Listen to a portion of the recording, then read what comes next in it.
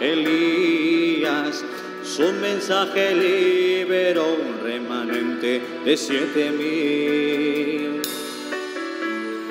En la quinta vez que Dios enviará al profeta Elías, serán liberados ciento cuarenta y cuatro mil.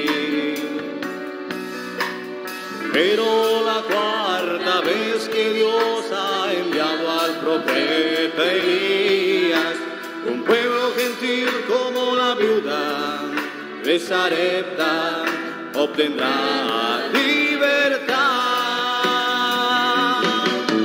He aquí os envío el profeta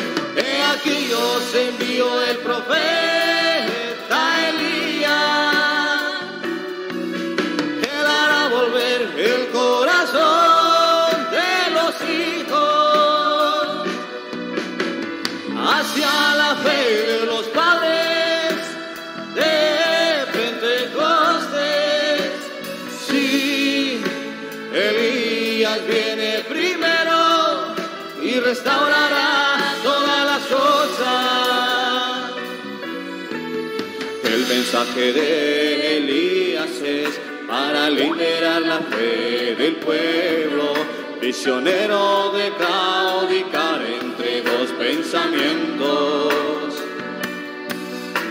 sacando de escena al nicolaísmo y alanismo, y después de la gran sequía por causa de acá y Jezabel, traer de regreso lluvia temprana y lluvia tardía, y mi pueblo nunca jamás será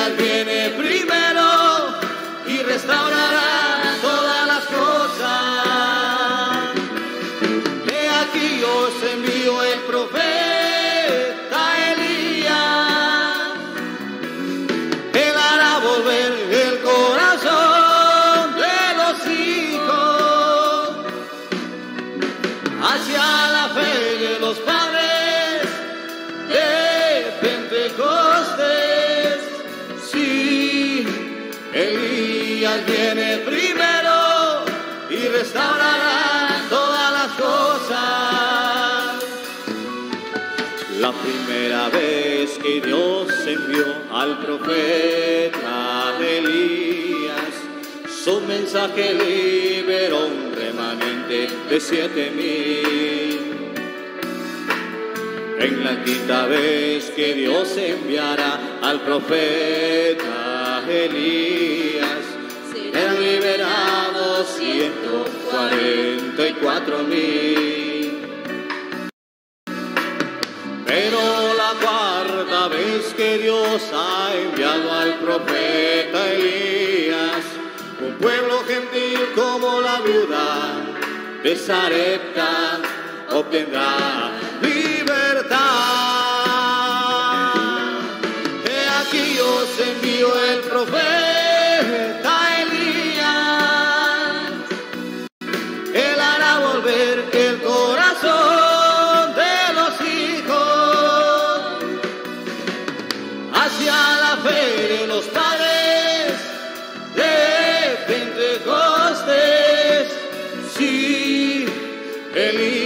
Viene primero y restaurará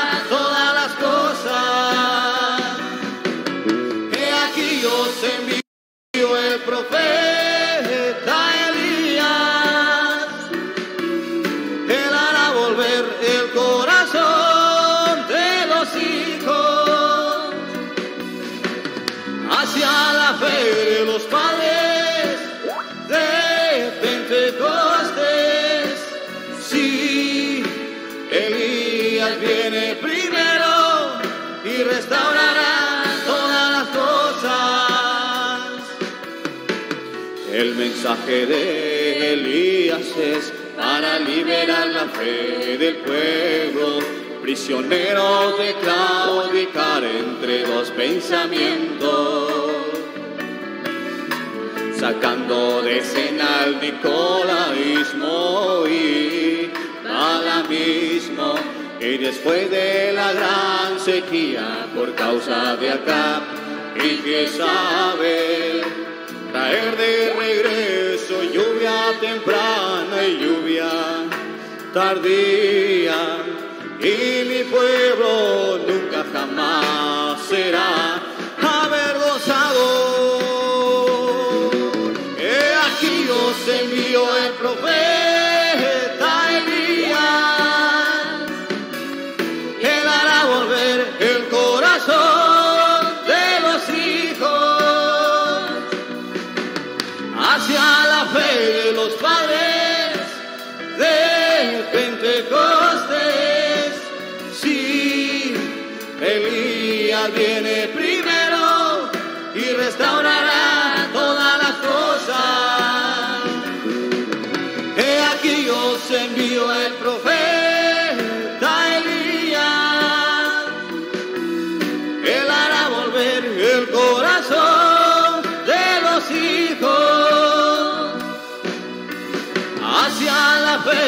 fe de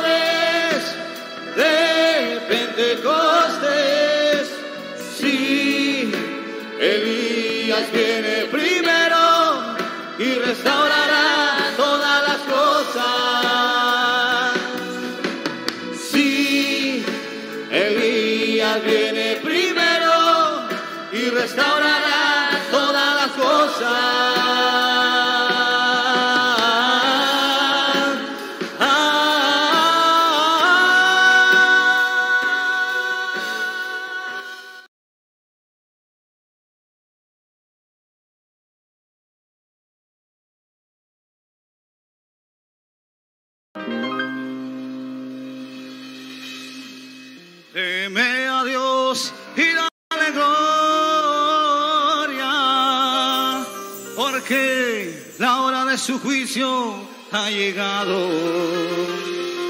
Adorad a aquel que hizo el cielo y la tierra. Adorad al verbo de Dios, el Mesías.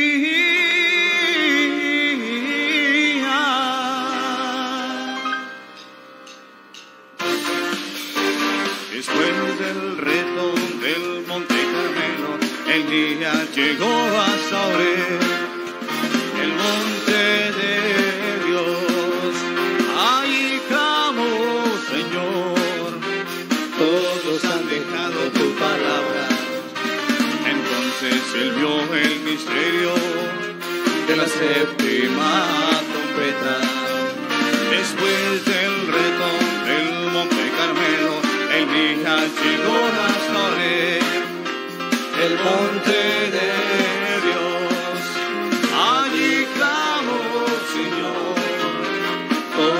han dejado tu palabra.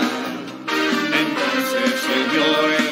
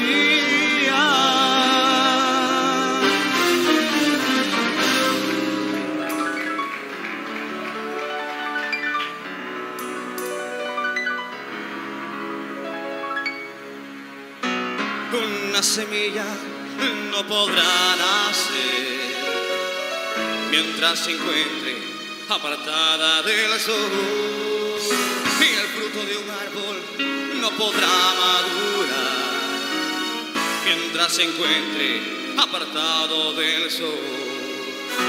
Una semilla no podrá nacer mientras se encuentre apartada del sol. El fruto de un árbol no podrá madurar mientras se encuentre apartado del sol ese fruto deberá estar en la presencia del sol y así entonces podrá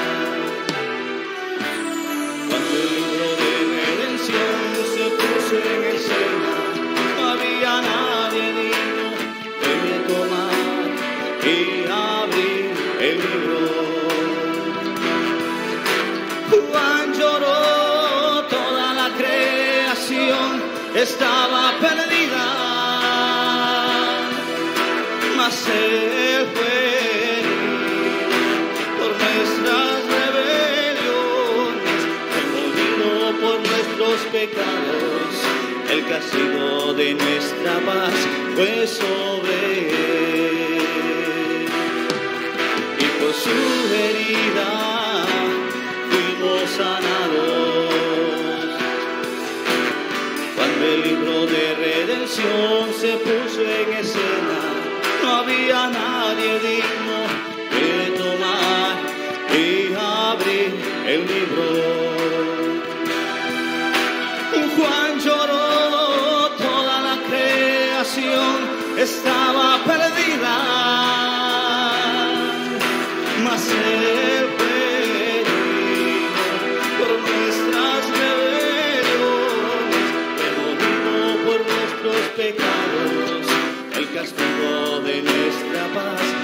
fue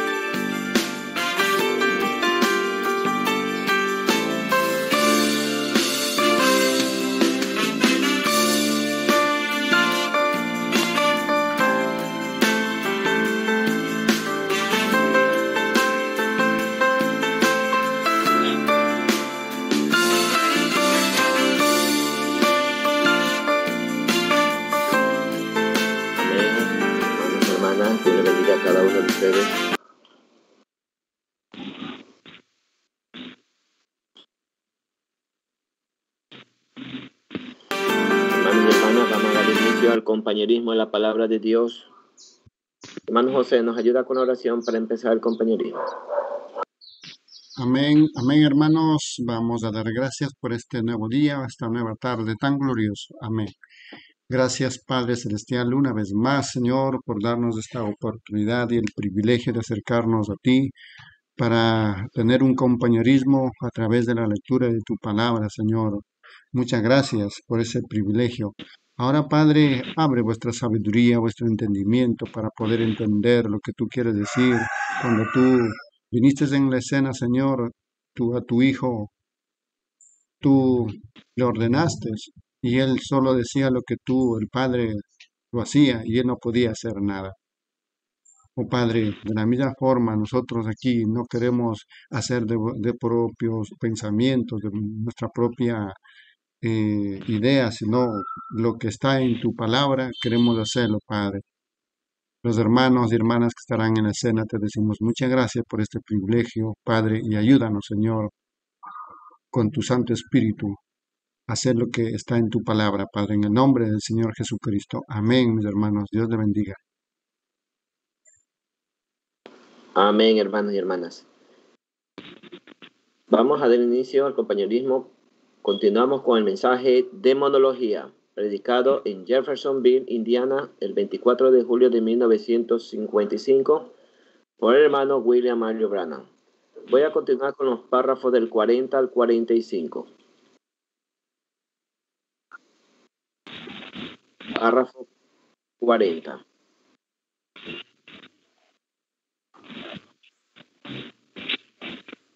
No hace mucho aquí, yo vi la gran obra que hizo este artista, este escultor. Sí.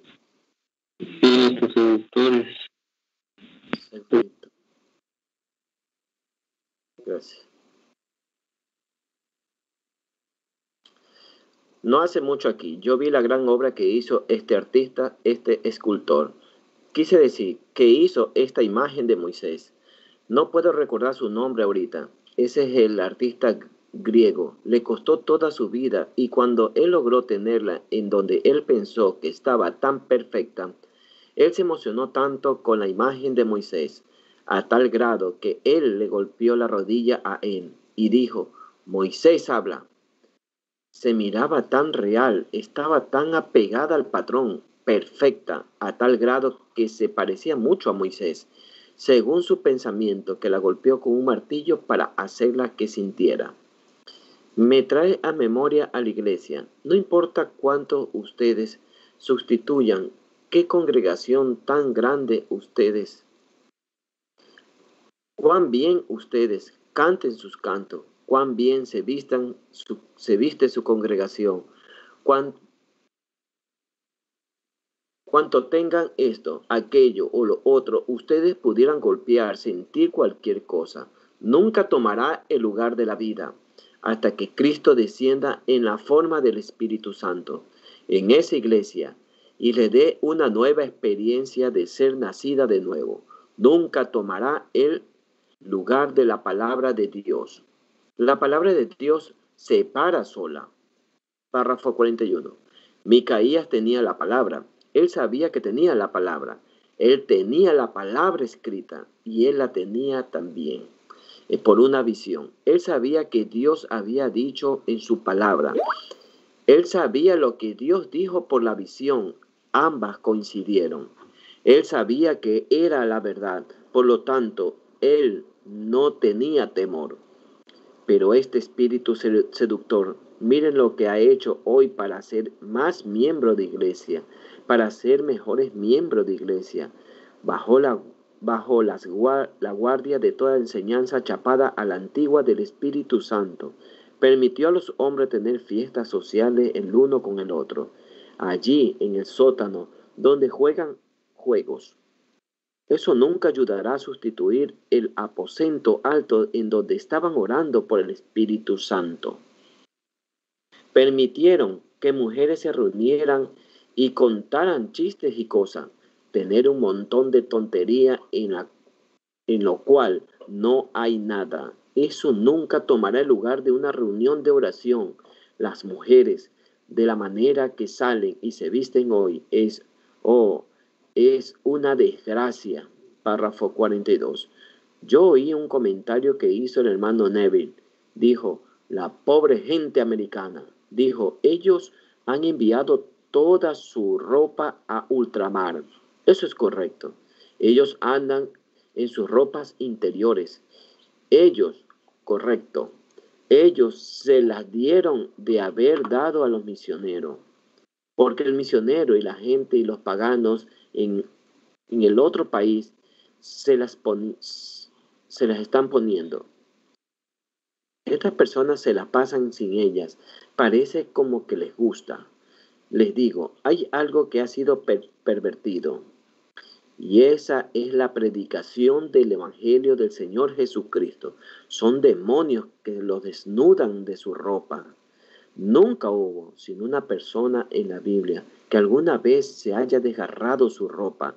Ese era el hombre que estaba poseído del demonio. Y él viene hoy en una forma bondadosa, como él es social, como él es bueno, como que todo está bien. Es más, fresco y lo pondrá más fresco si ustedes se quitan su ropa. Hombres caminando por los patios, medio desnudo, y mujeres de la misma manera. Bueno, han llegado a tal grado que no hay más respeto del uno para el otro de lo que lo que hay en los perros. ¿Qué es lo que pasa? No estoy tratando de lastimarlo. Yo únicamente estoy tratando de decirle que es una posesión diamónica. es una posesión demoníaca. Y ustedes están escuchando a espíritus seductores que les están diciendo, eso está bien, pero es una mentira. Un grano de trigo únicamente producirá trigo. Si usted es un cristiano, usted no hará eso. Usted no puede hacerlo. Usted simplemente no puede hacerlo. Usted tiene una fe intelectual y dice, hermano Brana, yo creo la Biblia. Su vida dice que usted no la cree. Amén. Espíritus seductores contra la palabra de Dios. Párrafo 43. Él sabía en dónde estaba parado. Micaías lo sabía. Él tenía la palabra de Dios. Él era un hombre muy impopular. Nadie lo quería porque él dijo la verdad, aunque ellos querían a estos predicadores. Ahora, otra cosa que ha acontecido. Yo creo y pienso que cualquier hombre que tiene una experiencia con Dios o una mujer está propenso a, ponerles, a ponerse un poquito emocional. Yo simplemente lo creo, eso es correcto. Pero creo ustedes que ellos han adoptado el emocionalismo por el bautismo del Espíritu Santo. Solo recibieron mucho ruido y no hay nada en ellos. Usted viva tan santo como vive de ruidoso. Entonces usted está correcto. Las emociones ciertamente están bien, el ejercicio corporal para poco es provechoso, pero espíritus seductores se han metido en el grupo de gente de la sanidad y los tienen solo descansando en porque ellos pueden gritar o pueden danzar porque pueden emocionarse. 44. Ese hombre allá, el jefe de todos esos profetas, de los predicadores, él estaba tan seguro que él estaba correcto, que él hizo un par de cuernos y danzó todo alrededor, e hizo una conmoción más grande. Él iba a echar al otro ejército asirio del país. Pero era una mentira. La palabra de Dios lo había dicho diferente. Amén. ¿Ven? Ustedes pueden estar emocionalmente correctos, si ustedes tienen la clase correcta de emoción respaldándolo, la clase correcta de emoción moviendo su emoción. David danzó delante del Señor y su esposa se rió de él. Y Dios miró del cielo hacia abajo y dijo, David, tú eres un hombre conforme a mi propio corazón. Pero sus motivos estaban bien, su vida estaba exactamente respaldando eso. Así que Así que porque podemos ser emocionales no significa que somos salvos. Porque vamos a la iglesia no significa que somos salvos. No crean esos espíritus seductores. Un verdadero espíritu de Dios, una verdadera palabra de Dios, es la verdad de Dios, la cual es una simiente de Dios, producirá a Dios en su vida. Será devoto, piadoso, santo. Párrafo 45 y último hermano. Entre mucha de la gente, entre mucha de la gente, en donde hay emociones y demás, encontramos allí que llegan a ser parlanchines y murmuradores y toda clase de cosas impías. Hermano, eso es ácido sulfúrico en la iglesia. Es un poder demoníaco, espíritu de hombres y mujeres que se meten entre el uno y el otro y tratan de apartarse diciendo, esto no es correcto, esto y esto no es correcto y aquello no es correcto. Si ustedes lo investigaran nueve de diez veces, es la misma persona que no está correcta, la que está produciendo el escándalo. Amén. Dios aborrece la discordia entre los hermanos. Sean reverentes, sean santos, Amen a Dios, párense a su lado y mientras ustedes sepan que sus vidas se están alineando con la Biblia, con pureza de corazón, pureza de pensamiento, amor hacia su hermano, tratándolo mejor para edificar el reino de Dios y haciendo esas cosas, vistiéndose correctamente, viviendo correctamente, hablando correctamente, yendo a los lugares correctos, entonces ustedes pueden tener todas las emociones que ustedes deseen y todos lo creerán. Jesús dijo, vosotros sois la sal de la tierra. Si la sal se desvaneciere, no sirve más para nada, sino para ser echada afuera y hollada por los hombres. Si ustedes son sal solamente, eso no es bueno. Pero si ustedes tienen el sabor de ella, ustedes serán salados y el mundo estará sediento. Ustedes sean salados, ellos estarán sedientos, oh hermano. Amén, hermanos. Continúa la lectura, hermano Edith, en los párrafos del 46 al 53.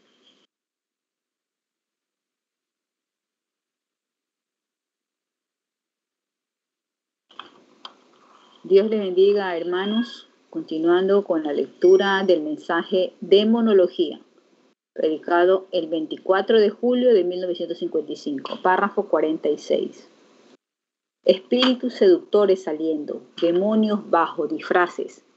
Miren, estamos en los últimos días, estamos en el tiempo del fin. El mundo está casi listo para llegar a su cabeza, como un furúnculo doloroso en alguna parte que va a reventar uno de estos días y la infección va a salir de él. Ha llegado a ser asqueroso. No hay pomada que pueda sanarlo han rechazado el suero, han rechazado el tratamiento. Tomen, por ejemplo, un furúnculo creciendo allí y si ustedes no toman penicilina o algo para eliminarlo o alguna otra cosa, solo seguirá creciendo hasta que reviente. Eso es lo que el mundo ha hecho. Comenzó no hace mucho tiempo a bajar la guardia, salieron con una gran idea. Falsos espíritus entraron y comenzaron a decirle a la gente esto, eso o lo otro. Nos separamos en 900 y algo de diferentes denominaciones, cada una con una idea diferente.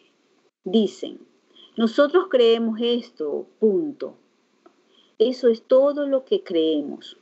No pueden permitir que el Espíritu Santo entre no pueden tener la preferencia. Dios tomó a un montón de gente que podía gritar. Entonces todos tenían que gritar. Ellos tuvieron algunos que podían hablar en lenguas. Entonces todos tenían que hablar en lenguas. Todos se pusieron así hasta que llegó a estar que absolutamente contaminado con espíritus seductores seduciendo a la gente a hacer estas emociones cuando Dios no está en eso, en lo absoluto. Entonces salen y viven cualquier clase de vida que desean vivir y luego lo llaman cristiano. Y el mundo se siente y mira, dicen, bueno, miren allí, yo soy tan bueno como ellos son. 47.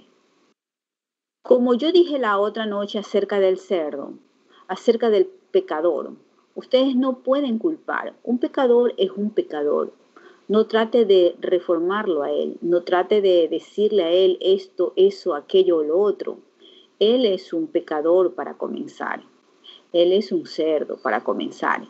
Él no sabe otra cosa. Si él va a los cines y va el domingo y él va a los juegos de pelota y él hace todas estas cosas, él es un pecador para comenzar. Su naturaleza es como un cerdo.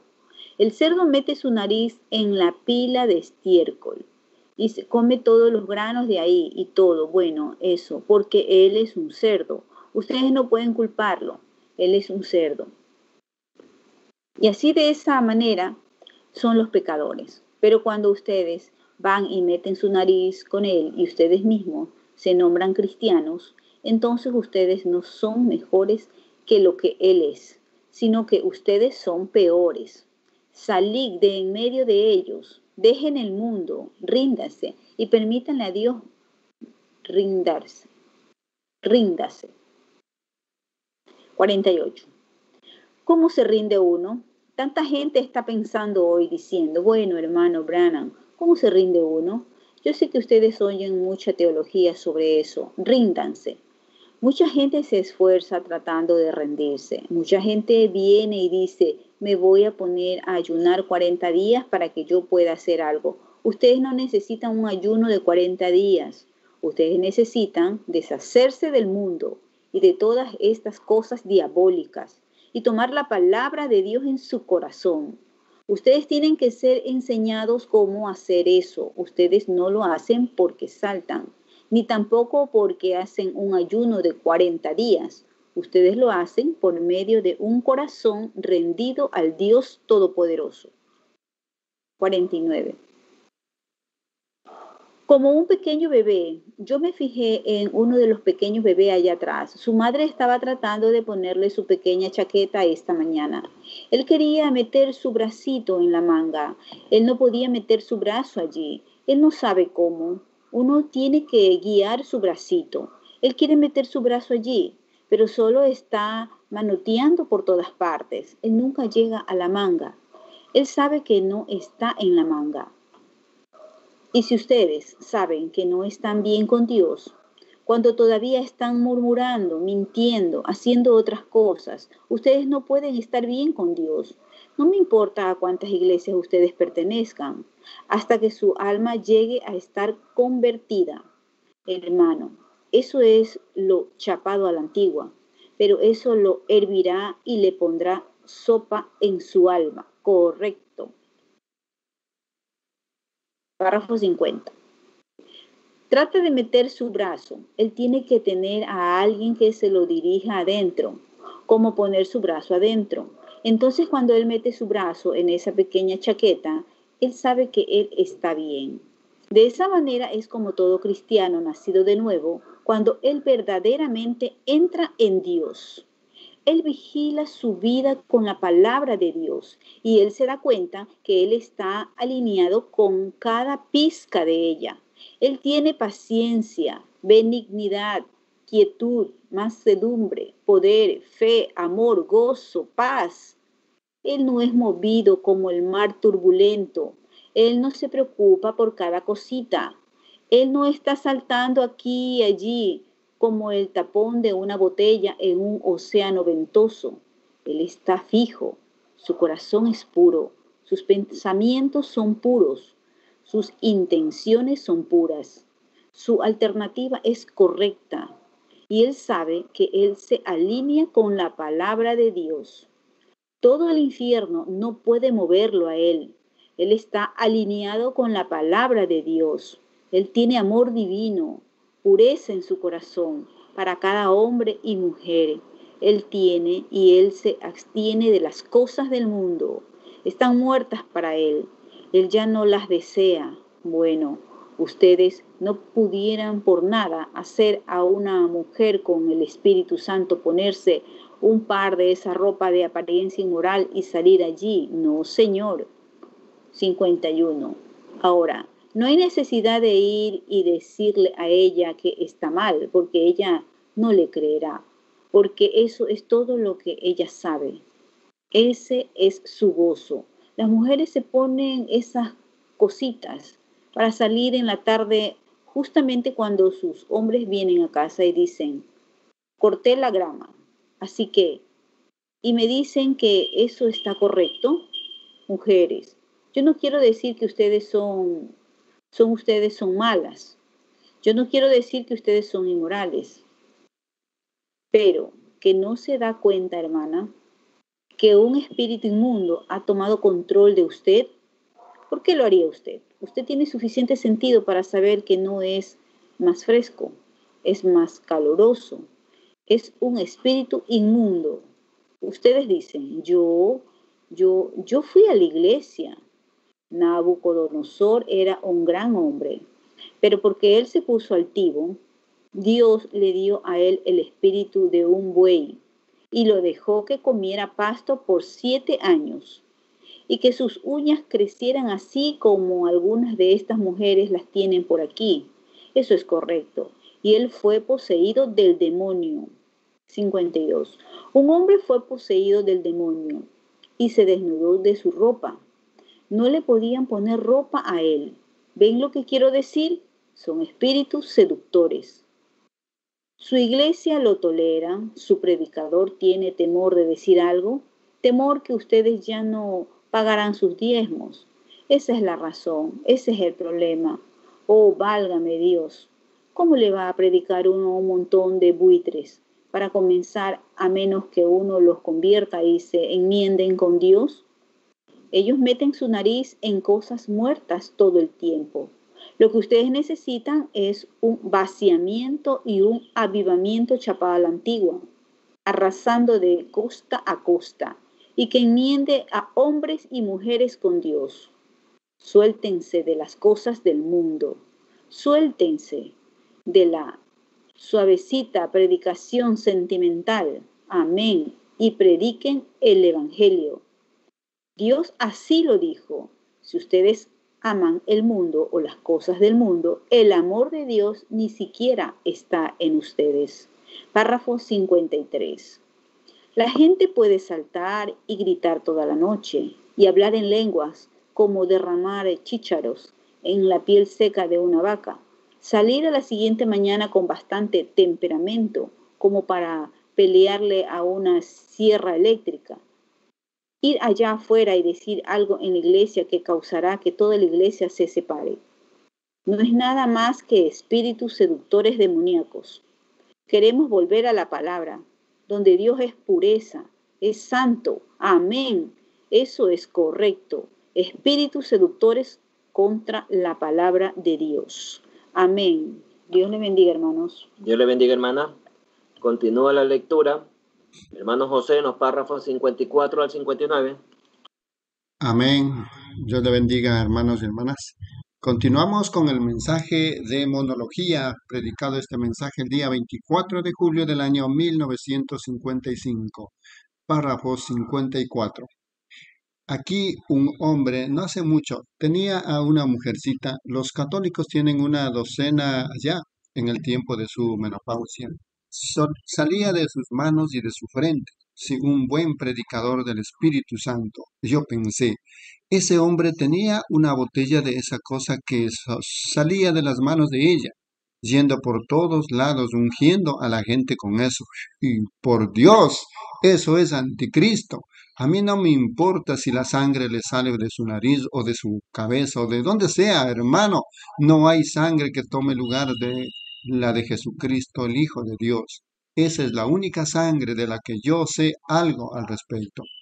Ella pudiera haber tenido aceite derramándose de una mano y vino saliendo de la otra, pero si ustedes lo usan en forma de religión, es el diablo. El ver cómo predicadores caen por tal cosa como esa. Lo que necesitamos es volver al libro, guía, volver a la palabra de Dios. Esta es la palabra de Dios, la bendita Biblia antigua. Dicen, bueno, tengo temor de llegar a hacer eso, hermano Branham. Tengo temor que perderé algo de mi gozo. ¿Qué es lo que pasa? Ustedes no saben lo que es gozo. Párrafo 55. Yo he dicho que no condenen al borracho por salir y emborracharse. Él está todo malhumorado. Él no sabe dónde está. Él se levanta en la mañana, se pone melancólico con el malestar que le queda después de haber bebido en exceso. Sale y se consigue dos o tres botellas de cerveza y sale y se consigue algo de whisky y todas esas clases de cosas. El pequeño chupador de cigarrillos se siente y fuma, sopla por su nariz como que si él fuera un tren de carga. Eso es todo. Yo no lo culpo. Eso es todo el gozo que él conoce. Eso es todo lo que él sabe al respecto. Él es un cerdo por naturaleza. Les debe de dar vergüenza a ustedes que profesan ser cristianos y dependen en tales cosas para gozo, cuando el Espíritu Santo no es nada sino una enorme central de gozo. El Evangelio del Espíritu Santo es una perfecta embriaguez para cada hombre que tiene melancolía ustedes se toman un trago del Evangelio de Jesucristo, serán llenos con el Espíritu Santo, ustedes estarán borrachos hasta que ustedes salgan de este mundo. Amén. Gozo inefable y lleno de gloria. Hay una constante estimulación, es una constante embriaguez, borracho día y noche. Amén. Esa es la palabra de Dios. Párrafo 56. La iglesia viene a adoptar otra cosa. Tienen que tener una fiestecita donde todos ellos salen a la playa a, tener una recreación, una fiesta de baraja donde se juntan para compañerismo. Correcto, tener un baile alguna vez en una casa de un miembro, algunas veces en el sótano de una iglesia. Un baile adoptando, tratando de tener algo para satisfacción. Lo que pasa con la gente es que son cerdos de todas maneras, son cerdos para comenzar. Si alguna vez llegaran a un contacto con Cristo, tendrían tanto gozo que esas cosas estarían más muertas que la medianoche para ellos. El Evangelio, borracho en el Espíritu, gozo inefable y lleno de gloria. No condenen al pecador, tengan misericordia de él, Dejen que siga y fume su pipa, dejen que beba su licor, dejen que tenga su fiesta de baraja, ese es su placer.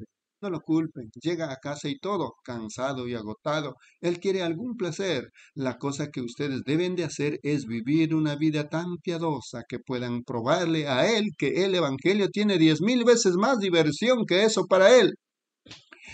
Y si Él muere en ese estado, Él se irá al infierno por causa de su licor. Esa es la embriaguez del diablo. Si él muere chupando esa pipa, Dios es su juez. Si ella muere saliendo aquí, bailando y saliendo para donde quiera vestida con ropa inmoral, Dios es su juez. Pero hay una cosa. Si uno muere bajo el poder ungidor del Espíritu Santo, como, estaba, como Esteban murió cuando él miró hacia arriba al rostro de Dios, dijo, yo veo los cielos abiertos y a Jesús que está a la diestra una va con destino al cielo. Uno va con destino al cielo como un vencejo a su nido. Amén. Párrafo 57. Espíritus seductores contra la palabra de Dios. Suéltense, ríndanse, como lo hace un hermano Branham. Solo ríndanse. Eso es todo lo que tienen que hacer. Tomen la palabra de Dios. No traten de fabricar nada. No vayan al altar y golpeen sobre él y griten. Dios, dame el Espíritu Santo, Señor, dame el Espíritu Santo. Él no va a venir porque ustedes están golpeando sobre ese altar. Eso no hace ningún bien. No, esa no es la manera en que Él viene. Es tomándole Él en su palabra. Miren a Pedro. Pedro estaba en un problema. Parecía como que él iba a morir. Y él vio al Señor venir caminando sobre el agua. Y él dijo, Señor, si ese eres tú, manda que yo vaya. El Señor dijo, ven. Ahora, ¿qué si Pedro hubiera dicho, ahora espera un momento?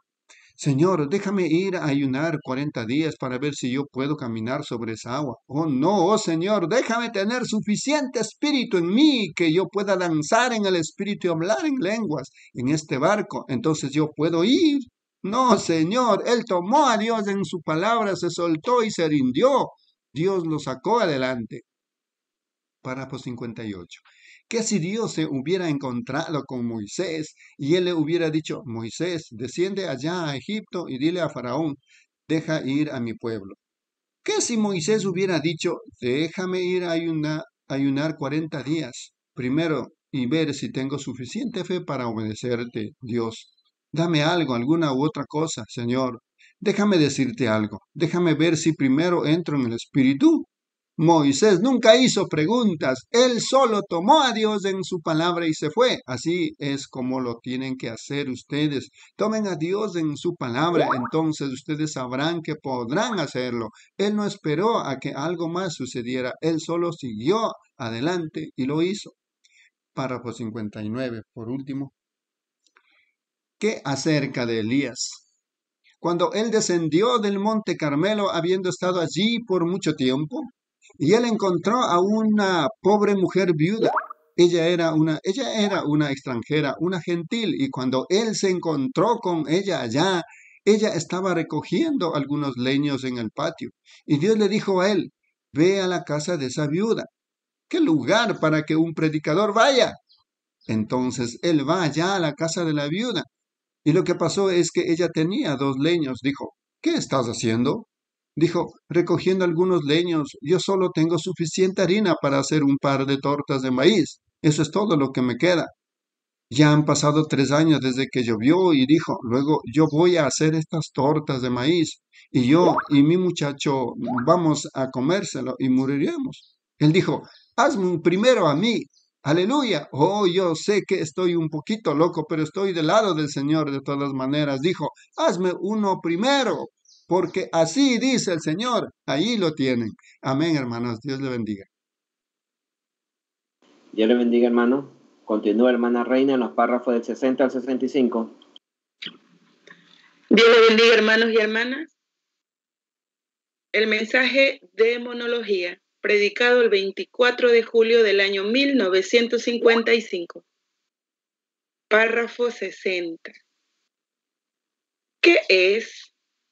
Buscad primeramente el reino de Dios y su justicia no el reino de Dios y un poquito de ruido, no el reino de Dios y una pequeña emoción, no el reino de Dios y un poquito de esto o aquello, pero Dios y su justicia y todas estas cosas os serán añadidas. Ponerlos primero. Ahora, esa viuda oyó eso. Fe viene por el oír, el oír por la palabra. Ella dijo, esa es la palabra del Señor, porque ese es un hombre santo de Dios, ese es el profeta de Dios, y yo sé que es la verdad, y esa es la palabra de Dios. Ahora, ella no corrió al otro lado para preguntarle a los vecinos cómo hacerlo. Ella no quería ir para compartir su y decirle a los vecinos, digamos, miren, ¿qué piensan ustedes? El predicador está en mi casa diciendo esto. Susi, Susie, ¿qué piensas acerca de esto? Párrafo 61. Ella entró, empezó a vaciar. Ella se rindió. Ella rindió lo que ella tenía para poder obtener más. Eso es lo que el mundo necesita hoy es un buen rendimiento chapado a la antigua de lo que ustedes tienen. Aleluya. Ella se vació para que ella pudiera ser llenada. Ella vació todo el aceite que tenía y todo el aceite que tenía y toda la harina que tenía para el predicador, para el reino de Dios. Y cuando ella lo vació todo allí adentro, Dios descendió llenó la tinaja de harina, llenó la jarra de aceite. Ella lo vació otra vez en el plato del predicador y volvió. La llenó otra vez. Él lo vació. Cada vez que ella lo vaciaba, él lo llenaba. Amén. Yo digo que si un hombre hoy vacía toda esta tontería de comportamiento y de personificar el cristianismo y deja que el Espíritu Santo tome su lugar, empezará un avivamiento en la calle Octava y Pen que recorrerá todo el país. Dejen las tonterías, regresen a la palabra de Dios, vacíense para que puedan ser llenados Ríndanse ustedes y Dios permitirá que venga. Ustedes vacíense. Dios llenará. Amén. Todas las cosas insignificantes como usted tiene que hacer esto y usted tiene que hacer aquello y usted debería hacer esto y debería hacer aquello. Olvídenlo. Échenlo fuera de sus almas. Digan, Dios, permíteme desde este completamente este día ser completamente tuyo, Señor. Vengo con un corazón quebrantado, yo vengo con un espíritu contrito. Yo te amo, tú sabes que te amo. Yo quiero olvidar toda esta insensatez de todos estos ayunos de 40 días y ver si puedo acercarme más a Dios. Y todo esto, aquello, lo otro, todas esas tonterías. Párrafo 62. Paren eso. No hay nada en la palabra que les diga que hagan un ayuno de 40 días. Ni hay una sola cosa. No hay nada en el mundo diciéndoles que ayunen, a menos que Dios les dijera, si ustedes ayunan, no van a tener hambre y pasar por todas esas cosas. Mientras ustedes están ayunando, hermano, ustedes estarán gozosos y contentos todo el tiempo. Dijo No se presenten ante los hombres como lo hacen los hipócritas, con una cara larga y triste. Estoy en un ayuno de 40 días, mis placas ya no me quedan.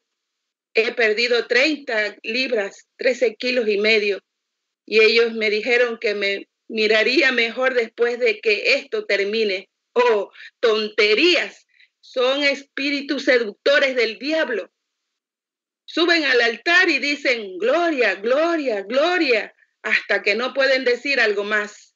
Y dicen, ustedes tienen que hablar en lenguas antes de que reciban el Espíritu Santo. Tonterías, vacíenlo. Saquen eso de su sistema y vengan en base a la palabra de Dios.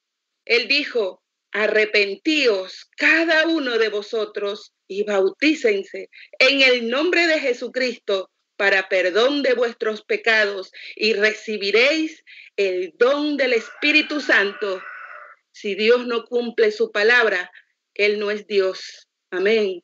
Vacíense, sean llenos. Amén. Yo amo eso. Esa es su palabra. Dios así lo dijo, correcto.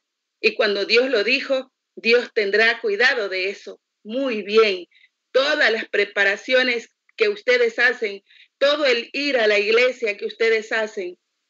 Párrafo 63.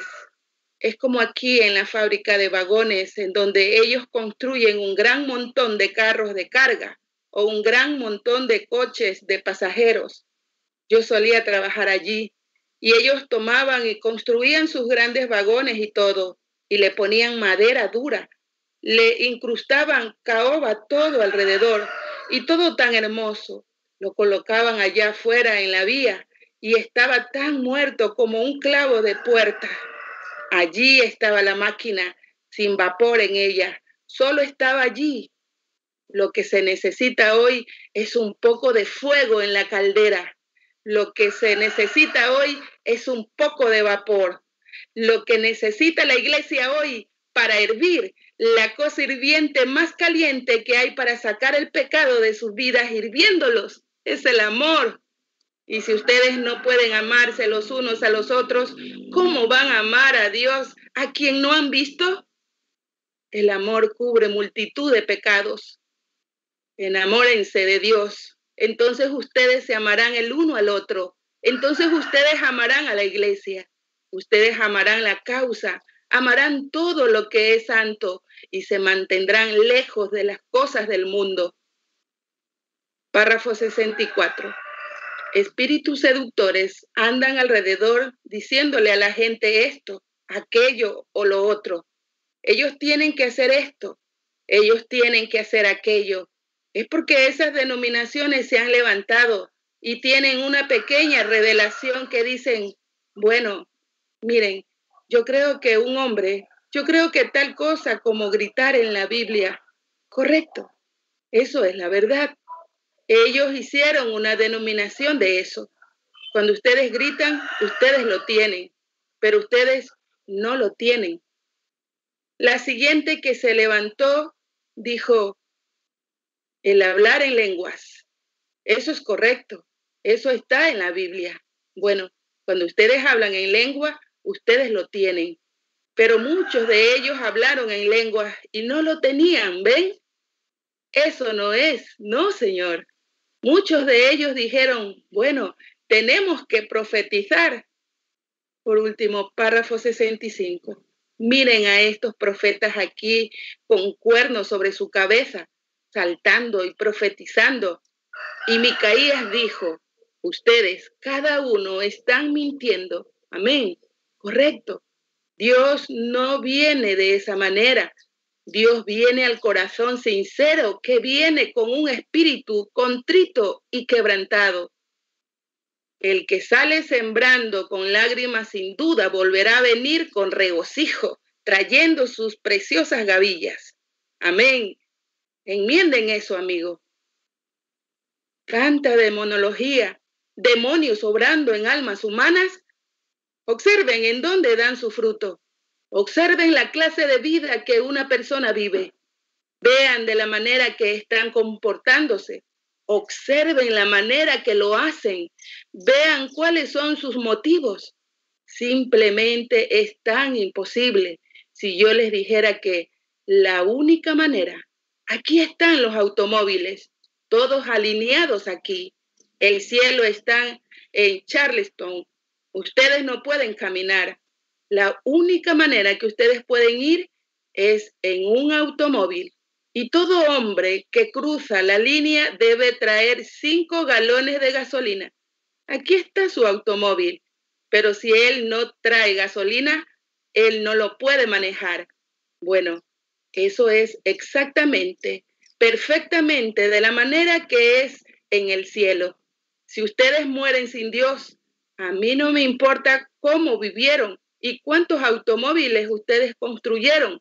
Si el amor de Dios no está allí para meterlos dentro del reino de Dios, ustedes están perdidos. Amén, hermanos. Dios les bendiga. Dios le bendiga, hermana. Voy a continuar con el mensaje de monología en los párrafos del 66 al 71. Párrafo 66. Hay un negativo y un positivo. No importa cuán positiva corra esta corriente aquí. Si no tiene un alambre de tierra, nunca alumbrará. Correcto. Ustedes tienen que estar arraigados, cimentados en el amor de Dios. Oh, hermano, junten ese negativo y ese positivo y ustedes tendrán luz, la buena luz chapada a la antigua del Evangelio que se difunde de orilla a orilla. Ustedes nunca lo, lo tendrán sin eso.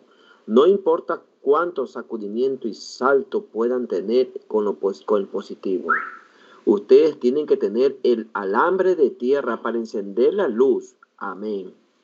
¿Se han fijado ustedes Pongan ustedes un alambre de tierra aquí en esto. Cada pizca regresa directo aquí en la subestación, directo a la tierra. Y cada vez que un hombre es arraigado y cimentado en la palabra de Dios, lo arraiga y lo cimienta allá en el Calvario, a donde él ancla y, y el poste de amarre de Dios fue comprado allí y destelló la luz del Evangelio. Amén. Párrafo 67. 67. ¿Saben ustedes qué es lo que pasa? La gente en estas enormes morgues formales y frías de aquí pretenden estar predicando el Evangelio. Un pequeño predicador vino a mí ayer. Pertenece a una de las grandes denominaciones que hay en la tierra hoy aparte de la católica. Él dijo, hermano Branham, estoy harto y cansado dijo, ellos van a hacernos a todos nosotros los predicadores ponernos togas y voltear nuestros cuellos al revés y predicar ciertas cosas. Y nos dirán sobre qué predicar cada trimestre. Él dijo, no puedo soportarlo por más tiempo. Él dijo, ¿qué debo hacer? ¿Debo de empezar a predicar el Evangelio?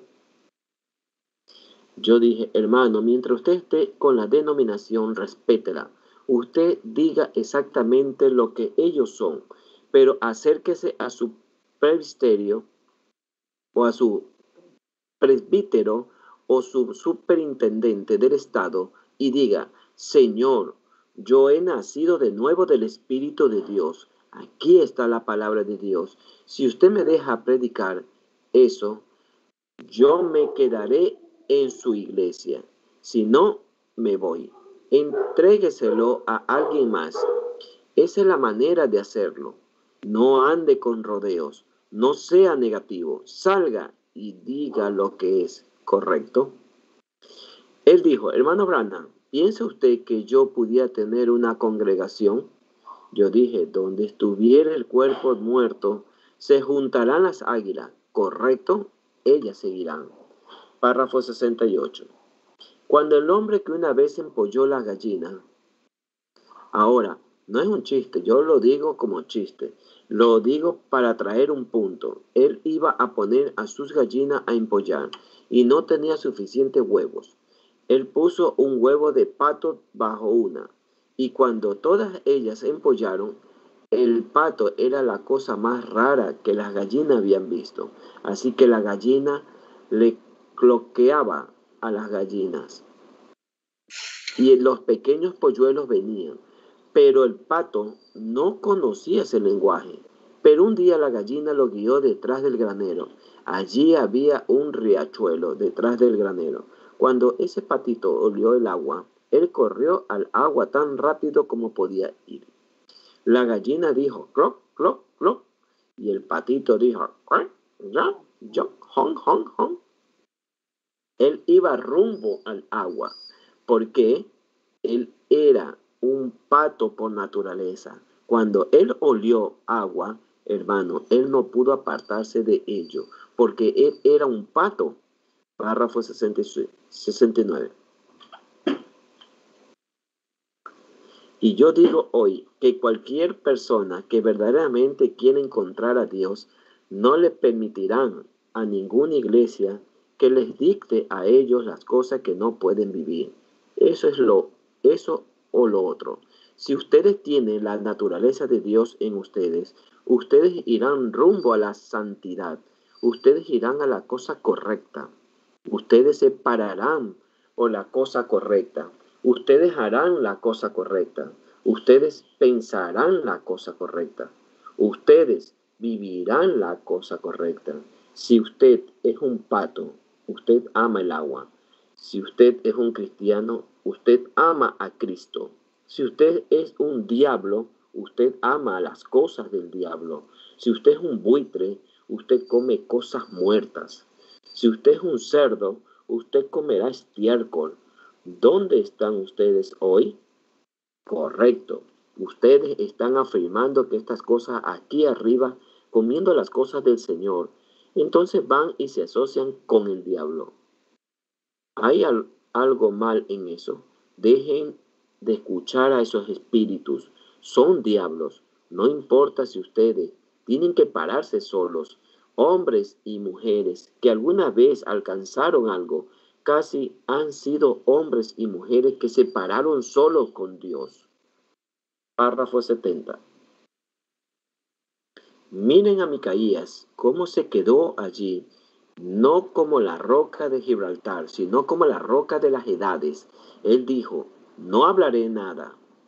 A mí no me importa lo que el seminario dice, a mí no me importa lo que mi congregación dice, a mí no me importa lo que el rey dice. Si ellos me cortan mi cabeza, yo solo diré lo que Dios ponga en mi boca para decir. Él estaba correcto, él estaba correcto.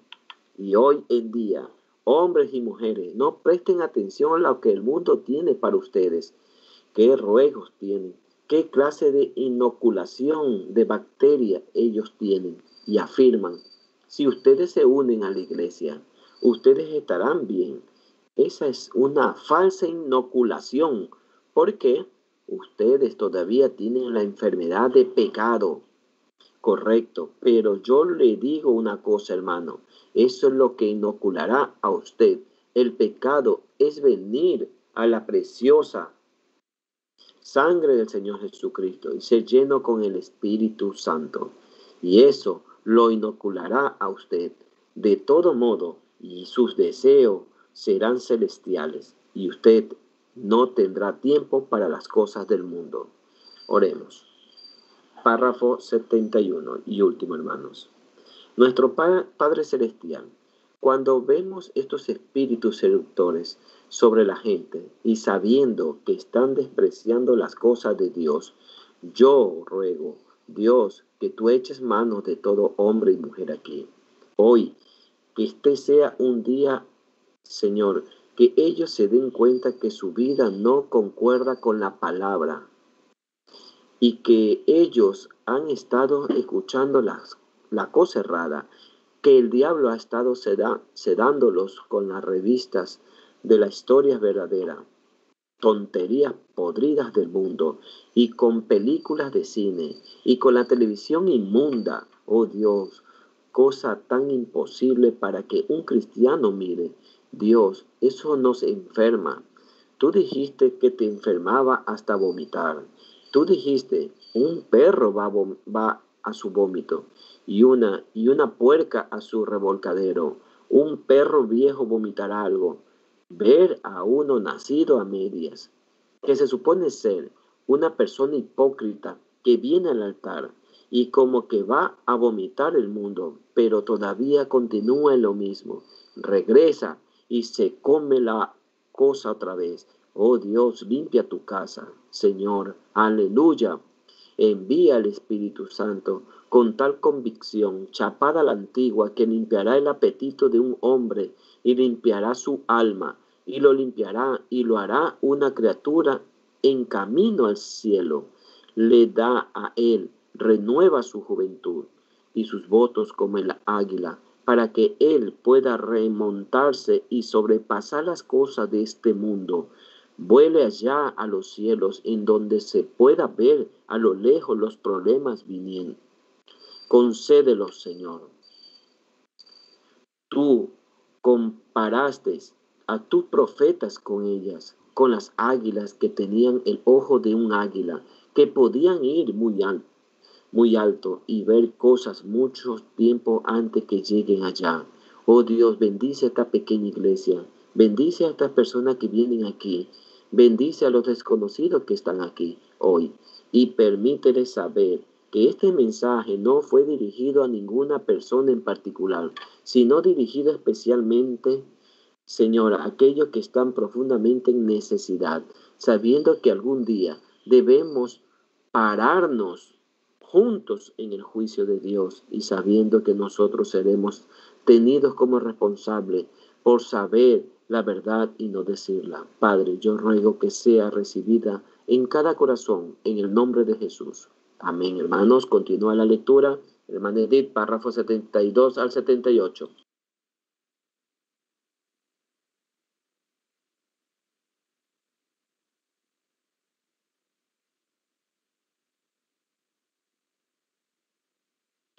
Continuando con la lectura del mensaje Demonología, predicado el 24 de julio de 1955.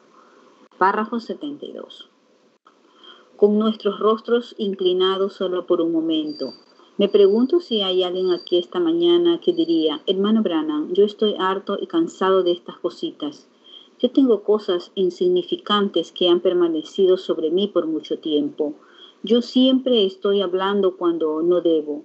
Yo estoy haciendo cosas que no debería de hacer y yo lo sé, que no es propio para un cristiano.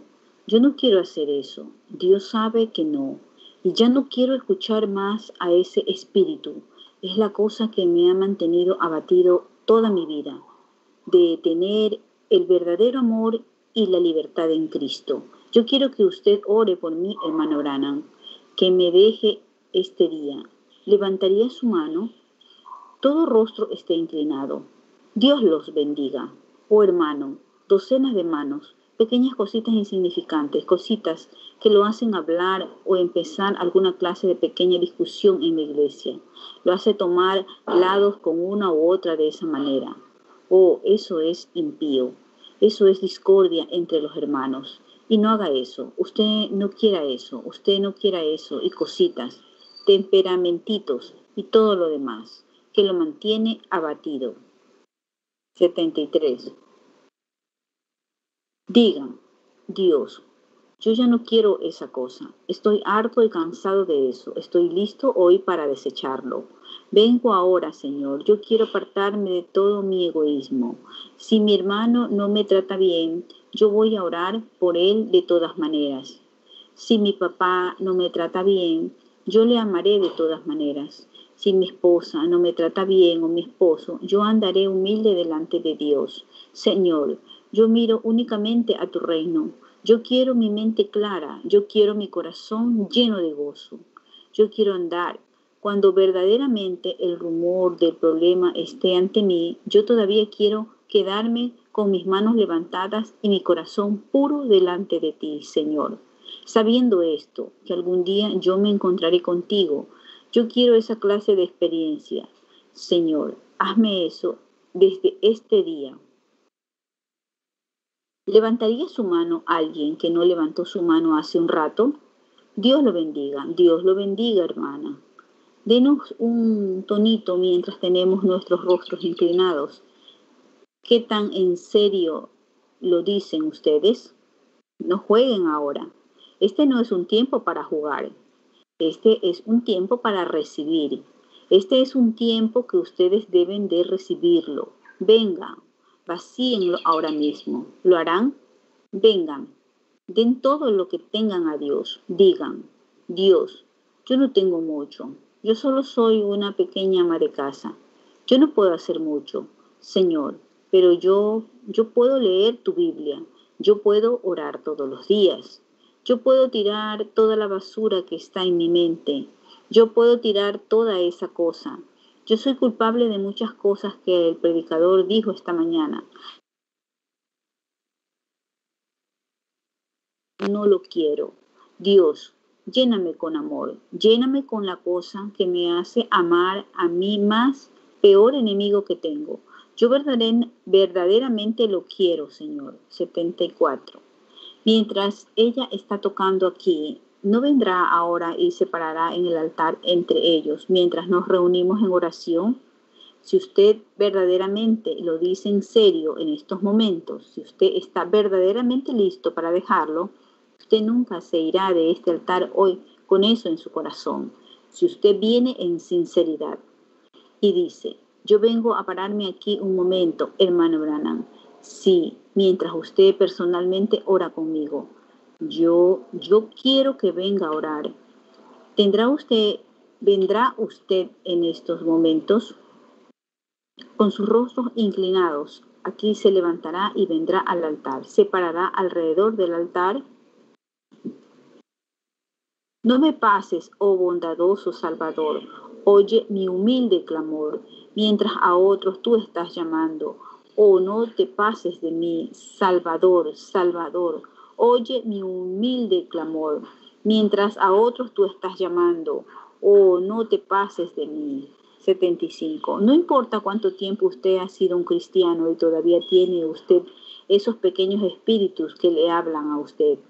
Lo hace perder el control, lo hace hablar de alguien, cuando alguien viene y anda hablando de alguien más, usted se une muy bien con ellos y o los pone por los suelos. Eso está mal, hermano. No haga eso. Eso finalmente no le dejará entrar a la tierra prometida. Si usted solo tiene cositas que usted no debería de tener, si el amor de Dios verdaderamente no está en su corazón, no sería hombre o sería mujer para acercarse y decir, Dios, aquí mismo, yo voy a vaciarlo esta mañana, aquí mismo, yo me voy a ir de este altar, una persona diferente, ¿vendría usted? 76. Hay un pecador que nunca ha aceptado a Jesús y usted sabe que usted es un pecador que no lo conoce a Él como su Salvador. Usted dice, hermano Branham, si yo pensaba que tenía mucho placer, yo voy a bailes y fiestas y a todas esas cosas. Yo miro la clase incorrecta de películas y yo, yo leo la clase incorrecta de literatura. Yo leo libros que tienen historias vulgares. Como que me gozo leyéndolo. Hermano, hay algo mal en usted. Ese es su apetito, ¿ve? Déjeme ver qué es lo que un hombre lee, déjeme ver lo que él mira, escuchar la música que él escucha. El otro día, viniendo en el auto, una cierta persona extendió la mano y encendió mi radio. Alguna clase de música vulgar. Yo dije, apague esa cosa. Yo no quiero oír eso. Alguna cosa de boogie, boogie, boogie, boogie un tipo de música, entre corchetes. Dijo, bueno, a mí me gusta oír eso. Yo dije, su naturaleza está mal, usted está mal. Párrafo 77. Cuando yo estaba aquí hace unos cuantos días después de eso, arriba en la ladera de la montaña o en la ladera pescando con la persona, esos pajaritos estaban cantando, las alondras estaban gorjeando, el ruiseñor estaba volando en el aire, el ruiseñor cantando las alabanzas. Yo le dije a ese muchacho, dije, mira muchacho, esa es mi música, mantén eso encendido, ese es mi radio. Dios los manda para que me canten aquí mismo. Eso apacigua mi alma. mejor que toda esa cosa loca. Estas máquinas de discos haciendo ruido, tocando, uno ni siquiera puede comer en un lugar público. Es la dieta del diablo. Ese es el poder del diablo. Todo echado a perder por el pecado. Está usted todo embarrado a esas maquinitas y toda esa cosa sucia sale. ¿Disfruta usted eso? ¡Qué vergüenza! Usted es un descarriado. Usted está separado de Dios. Usted no conoce a Dios. Si usted conociera a Dios en el perdón de sus pecados, usted nunca escucharía tal tontería como esa. Eso estaría muerto para usted. Usted, usted se vomitaría con eso. Usted no lo querría. Su dieta es mejor. Usted ama a Dios. ¿No vendría esta mañana y se arrodillaría aquí con estos confesantes en esta mañana? Párrafo 78. Aquí están hombres y mujeres arrodillándose aquí, que han sido cristianos por años. Yo no los estoy descristializando, pero lo que estoy tratando de hacer es de decirles que el diablo los está persiguiendo, los está apartando del gozo completo. El Espíritu Santo es gozo. Bueno, yo despierto borracho, me voy a acostar borracho, yo estoy borracho todo el día, borracho toda la noche, o simplemente, simplemente me gusta eso. Yo voy a pescar con esto. No me pasé, Salvador, oye mi humilde clamor. Yo voy a casar y canto las alabanzas de Dios. Yo estoy predicando a donde quiera que voy. ¿No quisieran ser de esa manera, llenos del Espíritu Santo? Eso los estimula. Oh hermano, oírlos cantar esas canciones sucias, ustedes pueden cantar. Voy con destino a la tierra prometida, voy con destino a la tierra prometida. Oh, ¿quién vendrá e irá conmigo? Voy con destino a la tierra prometida, voy con destino a la tierra prometida, voy con destino a la tierra prometida. ¿O quién vendrá e irá conmigo? Voy con destino a la tierra prometida. Cuando llegue a ese bendito descanso y ser para siempre bendecido, cuando veré el rostro de mi Padre y en su seno descansaré, Voy con destino a la tierra prometida, voy con destino a la tierra prometida. ¿O quién vendrá e irá conmigo? Voy con destino a la tierra prometida. Amén. Dios le bendiga, hermanos. Dios le bendiga, hermana. Continúa la lectura, hermano José, en los párrafos 79 al 84. Amén, amén. Continuamos con el mensaje de monología predicado el día 24 de julio del año 1955, párrafo 79. ¿No vendría usted e iría? Yo recuerdo cuando cerca de 500 de nosotros parados allá cuando yo estaba bautizando a 120, como en esta temporada del año, aquí en las orillas del río, cuando esa gran estrella de la mañana bajó resplandeciendo en el río, aleluya, una voz saliendo de ella dijo, algún día tú esparcirás el Evangelio por todo el mundo, como un pobrecito muchacho campesino ignorante. ¿Haría eso? La gracia de Dios, amén. Oh, ¿quién vendrá e irá? Desháganse de, despójense de todo el peso en estos momentos. No escuchen a esos espíritus seductores. Vengan, escuchen a la palabra de Dios. Así dice el Señor. Bienaventurados los que tienen hambre y sed de justicia, porque ellos serán saciados. Párrafo 80. Inclinamos nuestros rostros ahora mientras estamos orando con estos en el altar. Hijos amados, quiero que recuerden en esta mañana que ustedes están allí para despojarse del peso. Despójense de todo peso y del pecado que les asedia. Pablo dijo en Hebreos el capítulo 12, nosotros que teniendo en derredor nuestro tal grande nube de testigos, despojémonos de todo peso y del pecado que nos asedia. ¿Y qué más digo? Porque el tiempo contando de Gedeón, de Barak, de Barak, de Sansón, de Jepté, de David, de Samuel y de los profetas, que por fe conquistaron reinos, hicieron justicia, alcanzaron promesa, taparon boca de león, apagaron fuegos impetuosos, evitaron filo de espada, sacaron fuerzas de debilidad, se hicieron los fuertes al enemigo en fuga, y las mujeres recibieron sus muertos mediante resurrección, y otros recibieron tormento, vituperios y azotes, a más, más que esto, prisiones y cárceles. Otros, otros experimentaron vituperios y azotes. Ellos todos alcanzaron buen testimonio mediante la fe. Y todos estos, aunque alcanzaron buen testimonio mediante la fe, no recibieron lo prometido, proveyendo Dios alguna cosa mejor para nosotros, para que no fueran ellos perfeccionados sin nosotros. Por tanto, nosotros teniendo en derredor nuestra tal grande nube de testigos, despojémonos de todo peso y del pecado que nos asedia para que corramos con paciencia la carrera que tenemos por delante, puesto los ojos en Jesús, el autor y consumador de la fe, el cual por el gozo puesto delante de él sufrió la cruz, desprecia, le en lugar, perdón, el aprobio, y se sentó a la diestra del trono de Dios. Para 81 Jesús, en su oración dijo, Padre, yo me santifico a mí mismo.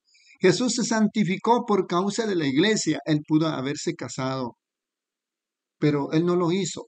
Él se santificó. Él dijo, santifícalos, Padre, en la verdad. Tu palabra es la verdad.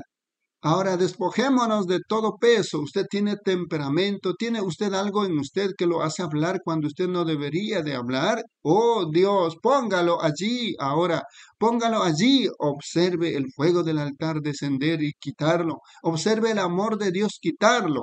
Observe todo ese egoísmo, la manera que usted le ha estado hablando a su esposa, la manera que usted le ha estado hablando a su esposo, la manera que usted le ha estado hablando a su vecino, la manera que usted ha hablado de la gente en la iglesia. Póngalo en el altar esta mañana y el fuego de Dios descenderá y lo quitará inmediatamente y el amor divino arderá en su lugar.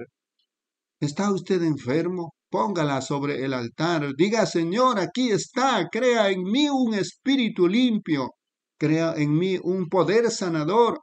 Veo lo que Dios hará, Dios lo hará esta mañana. Párrafo 82. Nuestro Padre Celestial, nos inclinamos en tu presencia en favor de estos en el altar, que tu gracia descanse sobre cada uno de ellos. Padre, ahora mientras ellos, Señor, yo no lo puedo hacer por ellos, lo tienen que hacer ellos mismos, ningún hombre lo puede hacer por ellos. Lo tienen que hacer ellos solos, que sus almas digan ahora dentro de ellos mismos, oh Dios, este temperamento que yo, lo pongo aquí, Señor, yo nunca lo recogeré. No importa lo que venga o vaya, yo lo dejo desde ahora en adelante. Esta lengua mía que fácilmente ha tomado lados con un montón de chismes, Señor, yo lo pongo aquí, yo nunca lo recogeré de nuevo. Santifica mi lengua, Señor. Déjame sentir los ángeles viniendo como Isaías lo hizo cuando él dijo, yo soy de labios inmundos, ay de mí. Y el ángel vino, tomó las tenazas y fue al altar y cogió los carbones de fuego y lo puso sobre sus labios y lo santificó a él. Dios santifica a cada hablador en esta mañana que habla mal y siembra discordia. Concédelo, Señor. Todas las enfermedades que han encarvado encorvado aquí en este edificio a personas enfermas, sabiendo que son diablos también. Dios, como tu siervo, yo los reprendo en el nombre de Jesús, que ellos salgan de toda persona enferma y que toda persona impura, que tiene pensamientos impuros, vulgaridad, lujuria, hombres y mujeres de la misma manera. Dios, quítalos de ellos. Todos estos aquí tratando de deshacerse de cigarrillos y de, de traguitos sociales y de fiestecitas y cosas egoístas. Dios estimula su corazón en el Espíritu Santo en tal manera que de esas cosas ya no tenga ningún deseo, no tendrán lugar. Ustedes estarán tan llenos del Espíritu Santo de aquí en adelante. Dios, haz esta iglesia una zarza ardiendo. Hazlo un lugar del Espíritu Santo. Hazla un fuego ardiente que el mundo pueda voltear a ver la gloria de Dios. Dios comienza con este pequeño puñado de gente, de unos 200 aquí en esta mañana, concédelo, Señor. Purifica cada corazón, cada metodista, cada bautista, cada católico, cada presbiteriano, cada pentecostal, Señor, quítalo de su corazón y que vengan a ti hoy, concédelo, Padre. Yo los encomiendo a ti y te los entrego a ti en el nombre de Jesucristo para la limpieza de sus almas y la sanidad de cuerpo. Amén. Yo me pregunto, para 84 por último, ¿en el altar han dejado su carga? ¿Sienten ustedes como que está allí? Si ustedes sienten que está allí, ustedes juzguen, ustedes son los que están orando. Yo prediqué, ustedes son los que están orando. Su carga quedó allí, hermano, hermana. Verdaderamente pueden dejarlo allí. Si ustedes pueden, levanten su mano, digan, sí, Dios, ahora yo lo dejo aquí, mis diferencias. Yo las dejo aquí en el altar. ¿Qué de eso allí en el extremo del altar, aquí a mi derecha, señora? ¿Puede dejarla allí? Puede dejar esa vieja carga allí y decir, sí, mi fe mira hacia ti, Cordero del Calvario, mientras todos nosotros los cantamos junto ahora. Mi fe espera en ti, Cordero, quien por mí fuiste a la cruz. Escucha mi oración, dame tu bendición, llena mi corazón, tu santa luz. Amén, hermanos, Dios le bendiga. Dios le bendiga, hermano. Continúa la lectura, hermana Reina, en los párrafos 85 al 88. Amén, hermanos. Dios les bendiga. Mensaje de monología, predicado el 24 de julio del año 1955. Párrafo 85. Pongámonos de pie, muy reverentes, todos. Ahora escuchen atentamente, todos ahora. Ninguno se vaya. Solo el servicio no ha terminado. Yo quiero que capten esta porcioncita sagrada, la porcioncita solemne. Arruda lid iré y pruebas hallaré.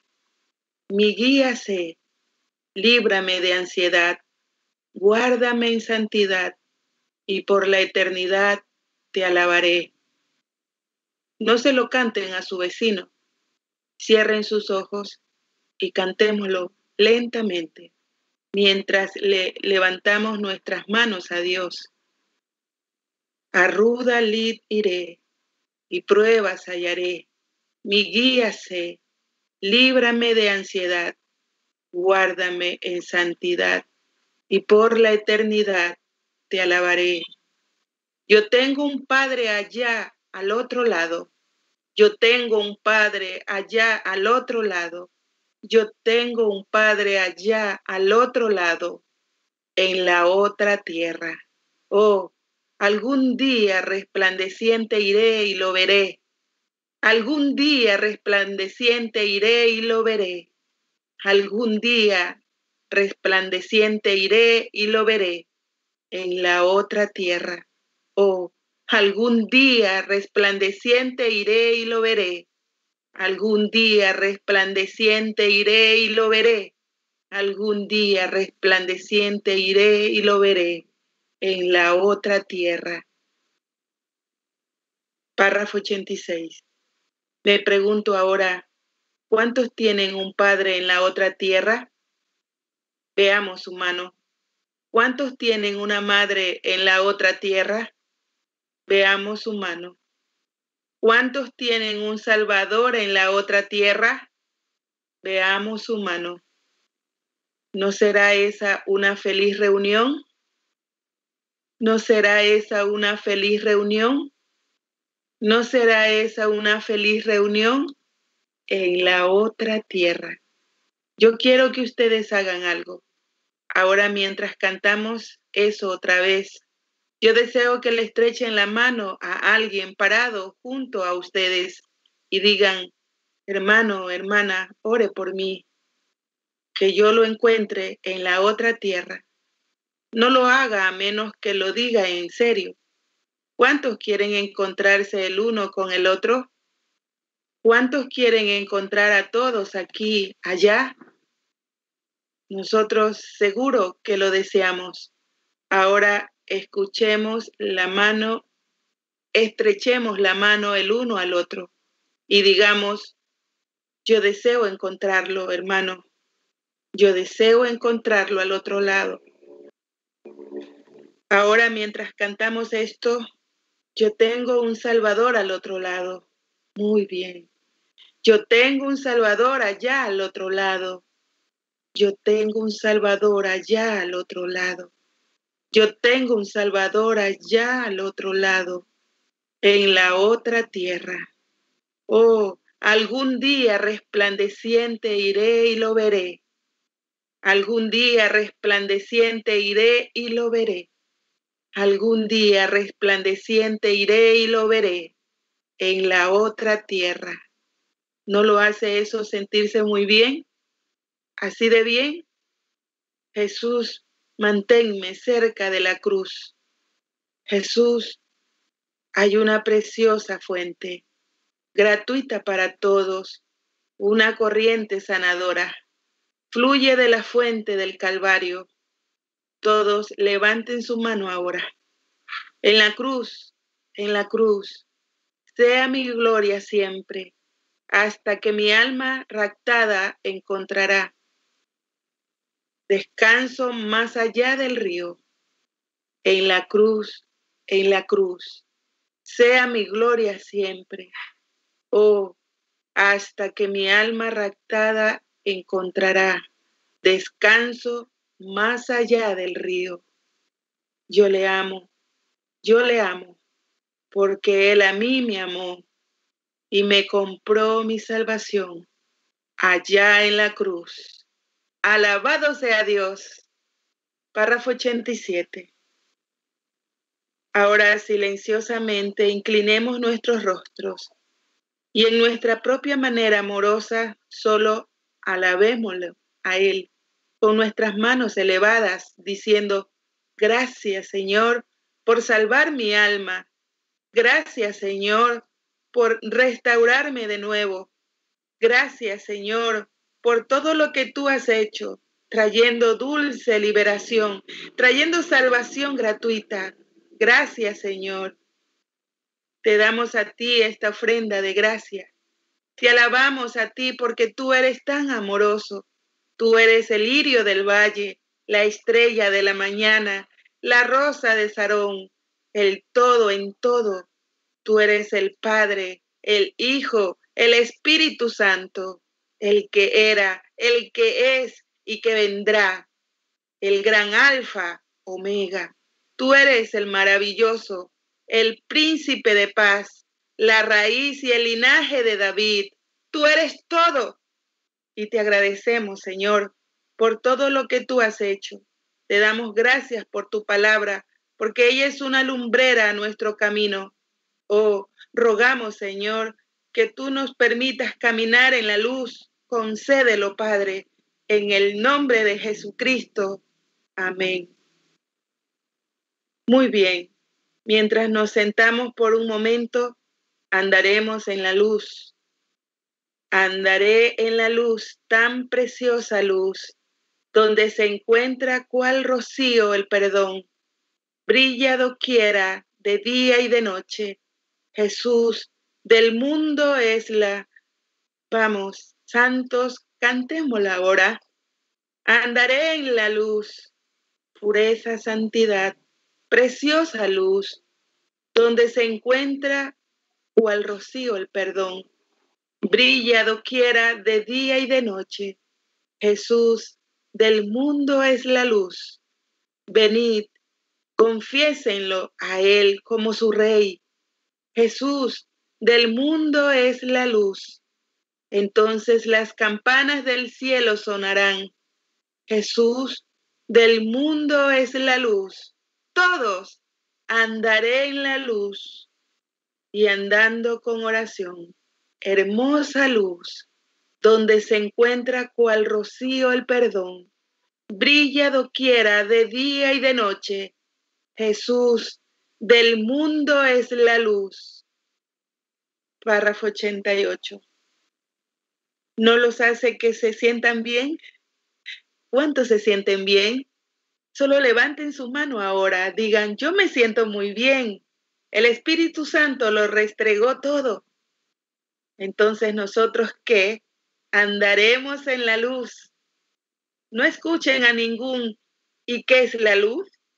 Tu palabra es una lámpara. Así que entonces andaré en la luz, preciosa luz donde se encuentra cual rocío el perdón, brilla doquiera de día y de noche. Jesús del mundo es. Ahora, ¿No es eso maravilloso? Parece como que no podemos terminar. El Espíritu Santo simplemente está conmoviéndonos. ¿No se sienten de esa manera? Me siento como que no puedo terminar. Parece como que no puedo. El Evangelio está goteando con sangre, la sangre de los discípulos que murieron por la verdad. Este Evangelio del Espíritu Santo está goteando con sangre. El primero que murió por este plan del Espíritu Santo fue Juan el Bautista, pero él murió como hombre. Luego vino el Señor Jesús, lo crucificaron. Él predicó que el Espíritu salvaría al hombre del pecado. Allí estaban Pedro y Pablo y Juan el Divino dieron su vida para que este Evangelio pudiera brillar. Derramaron su sangre como los profetas de la antigüedad, para que la verdadera palabra de Dios pudiera honestamente ser dicha. Luego apedrearon a Esteban. Él predicó contra el pecado. Él los hizo enojar tanto, le mayugaron su cabeza, pero él murió en el espíritu dio el Espíritu y fue a unirse con los otros, ese grupo dador de vida. Sigue goteando con sangre, sí, está goteando con sangre. Este Evangelio del Espíritu Santo sigue goteando con sangre, la sangre de los discípulos que murieron por la verdad. Este Evangelio del Espíritu Santo sigue goteando con sangre. Escuchen, hay almas bajo el altar están clamando, ¿hasta cuándo? Para que el Señor castigue a aquellos que han hecho mal, pero habrán más que darán la sangre de su vida por este Evangelio del Espíritu Santo con su sangre carmesí. Solo sigue goteando con sangre. Aleluya. Está goteando con sangre. Yo quiero ser uno de ellos. El Evangelio del Espíritu Santo está goteando con sangre la sangre de los discípulos que murieron por la verdad. Este Evangelio del Espíritu Santo está goteando con sangre. Amén, hermanos. Amén, hermana. Dios le bendiga. Continúa la lectura, hermana Erika, en los párrafos del 89 al 93 para culminar este compañerismo, perdón, este mensaje. Dios le bendiga, hermanos y hermanas. Continuamos con el mensaje de Neumonología del año 55, julio 24. Párrafo 89. Me gustaría morir aquí en el púlpito. Amén.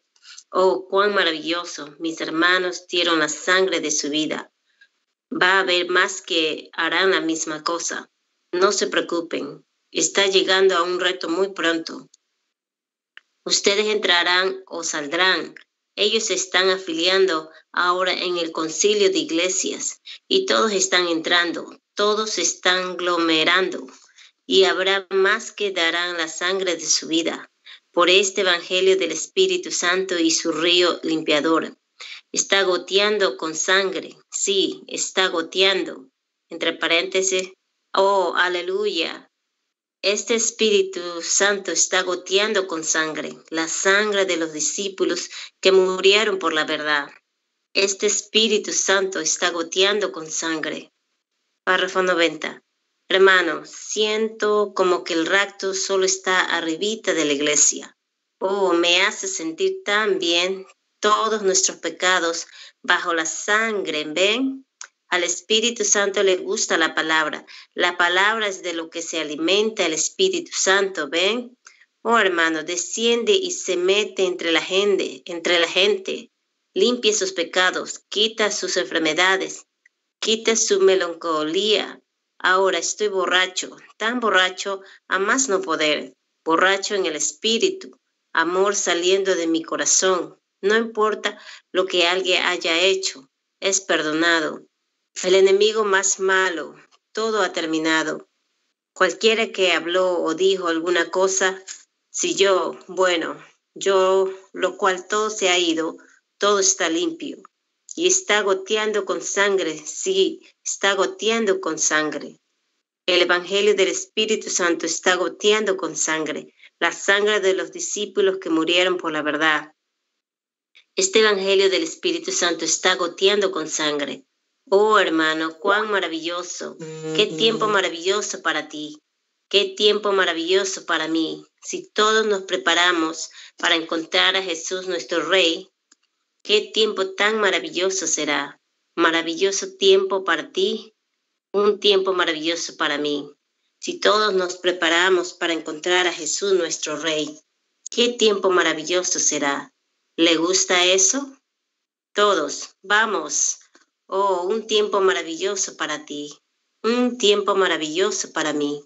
Si todos nos preparamos para encontrar a Jesús nuestro Rey, qué tiempo maravilloso será. Párrafo 91. Yo siento como que un avivamiento champado a la antigua está en la iglesia. ¿Ustedes no? Una, una limpieza a la, a la antigua, restregando un buen y maravilloso momento. ¿No se sienten bien? Oh, le alabaré, le alabaré. Alaben al Cordero inmolado por los pecadores. Cantémoslos. Ahora todos, ¿lo saben? Yo lo sé. ¿Cuántos? Ustedes. Ayúdenme a dirigirlo, hermano Nivel, y todos ustedes juntos. Ahora solo levantemos nuestras manos. Cántenlo conmigo ahora. Ahora, esta mañana, alaben al Cordero inmolado por los pecadores. Delen a él gloria, todos vosotros, vosotros pueblos, porque su sangre ha lavado toda mancha. Ahora todos, vamos, yo le alabaré, yo le alabaré. Alaben al Cordero inmolado por los pecadores. Delen a él gloria, todos vosotros pueblo, porque su sangre ha lavado toda mancha. Amén. Eso es maravilloso. Ciudad de perla blanca. Yo tengo una mansión, una arpa y una corona. Ahora yo estoy velando, velando y orando por la ciudad blanca que Juan vio descender. Párrafo 92. Amén, maravilloso. Oh, ahora pongámonos de pies todos. Yo espero que se estén sintiendo bien. Recuerden, los servicios están, los servicios esta noche, ahora. Queremos cantar nuestro buen canto antiguo de despedida. El nombre de Jesús reverenciamos, cayendo postrados sus pies. Rey de reyes lo coronaremos. Al, nuestra jornada termina. A nuestra jornada terminar. Muy bien, todos ahora juntos, muy bien. El nombre de Jesús reverenciamos, cayendo postrados sus pies. Rey de reyes lo coronaremos al nuestra jornada terminar. Precioso nombre, precioso nombre. Oh, cuán dulce, oh, cuán dulce. Esperanza de la tierra y gozo del cielo. Precioso nombre, precioso nombre. Oh, cuán dulce, oh, cuán dulce. Esperanza de la tierra y gozo del cielo. Párrafo 93. Qué maravillosa mañana, Qué momento tan maravilloso. Inclinemos nuestro rostro ahora solo por un momento. Todos miren directo a Cristo ahora, su Salvador. En una manera silenciosa, quiero que ustedes le den a Él gracia y alabanza. Digan, Señor, estoy agradecido contigo por santificar mi alma. Estoy tan agradecido contigo por todo lo que tú has hecho por mí. Que tu Espíritu sea sobre mí durante el día. Señor, Guíame, diríjame, bendíceme. Dios le conceda esa bendición a ustedes. Es mi oración. Ahora, mientras inclinamos nuestro rostro, hermano Nivel, despidamos, despídanos en oración. Dios le bendiga, hermanos. Dios le bendiga, hermana. Hermanos y hermanas, hemos concluido con el mensaje de monología. Continuamos con el mensaje Espíritu Seductor predicado en Jeffersonville, Indiana, el 24 de julio de 1955 por el hermano William Mario Branham. Este mensaje se encuentra en el programa Adobe. Ahí también se encuentra el archivo para que ustedes lo puedan descargar, hermanos. O lo pueden buscar en el Adobe. Amén. Continuamos con el mensaje Espíritu Seductores, párrafo 1. Buenos días, amigo. Estoy contento de estar aquí en esta mañana, viéndolo a todos ustedes presentes, sabiendo y creyendo que el Señor está con nosotros. Hoy, dándonos una poquita de sombra para que no esté tan caluroso aquí en el tabernáculo para el servicio de la mañana. Y ahora nosotros. Dos, párrafo 2. Yo creo, hay niños, hay ni ha sido los niños despedidos a sus clases, hermano Neville. Yo vi algunos pequeñitos y me preguntaba si ellos habían sido despedidos a la clase allá a sus otros lugares, a sus cuartos de escuela dominical. Párrafo 3. Ahora, oren por mí. Yo tengo una gran decisión que se suponía que yo debía de haberla hecho anoche y tengo que hacerla hoy y pido que la iglesia ore. Yo tengo una, yo tengo una reunión que viene enseguida. Es exactamente en la línea de la cortina de hierro en Alemania. Así que es un poquito delicado. Y oren por mí. Y así es que eh, podemos empezar inmediatamente en ese gran estadio de Secret en Alemania, que Hitler hizo un poco antes de la guerra. Un lugar grande y bonito que sienta a 80 mil personas y lo podemos tener por 10 noches seguidas, así que estamos esperando, esperando empezar allí inmediatamente. Y luego sigue la Salle Lorient, Francia, y luego a Berlín. Regreso, quiero decir, Berlín entre eso y a, África, a Francia. Párrafo 4. Luego regresamos, si el Señor lo permite, para una convención en Chicago. Comienza, creo yo, el 5, 6, 7, 8 y 9. Es la parte que me toca en Chicago de la convención en la iglesia sueca. Y ellos son el señor Bose y algunos de ustedes de los alrededores de Chicago. Ellos tienen una convención que será este próximo, comenzando el primero de agosto o el primero de septiembre. O el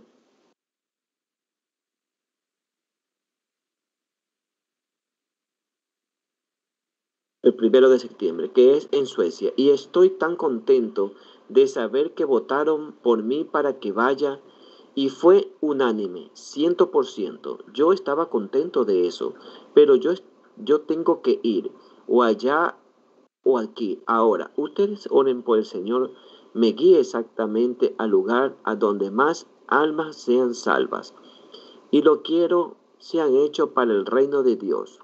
Ahora, van a tener una convención allá y ellos en Suecia.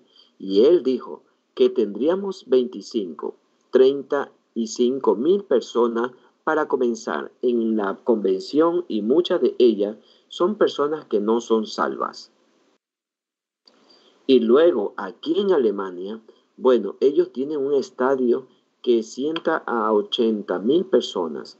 Por supuesto, nosotros en Suiza de donde apenas partimos, tuvimos allí una reunión maravillosa.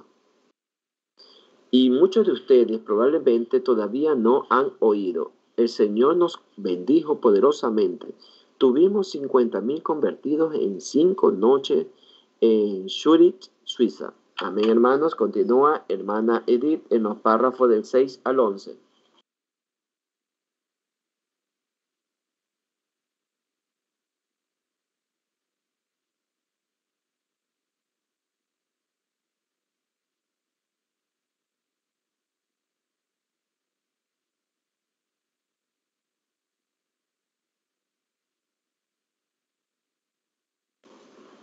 Continuando, hermanos, con la lectura del mensaje Espíritus Seductores, predicado el 24 de julio de 1955.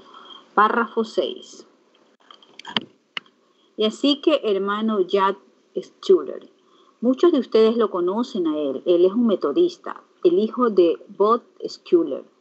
Ellos están en Belfast ahora y dicen que están volteando el lugar al revés, allá, por causa del Evangelio, y aún más considerable que lo que tuvo Billy Graham. en un, su reunión. Yad es un joven muy fino, lleno de celo y amor, y él, él es tan sincero en ello.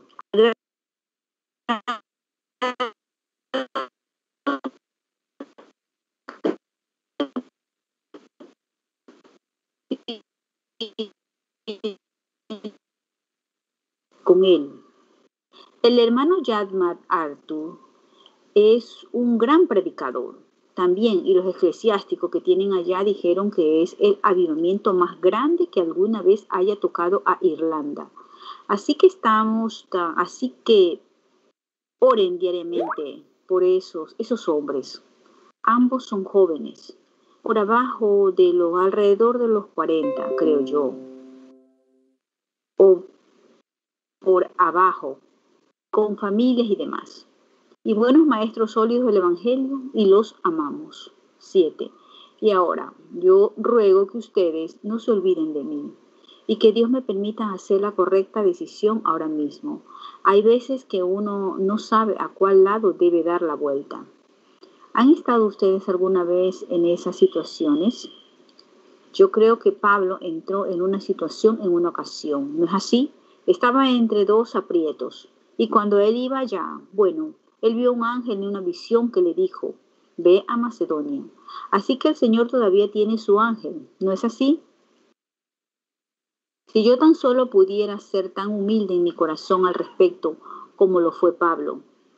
Y ahora, esta noche, recuerden los servicios del Evangelio aquí en el tabernáculo. Vengan todos, ustedes de los alrededores de Louisville, y estaré predicando en la iglesia de la puerta abierta esta noche por un par de horas, de las 7.30 hasta las 9.30, con el hermano Cobles.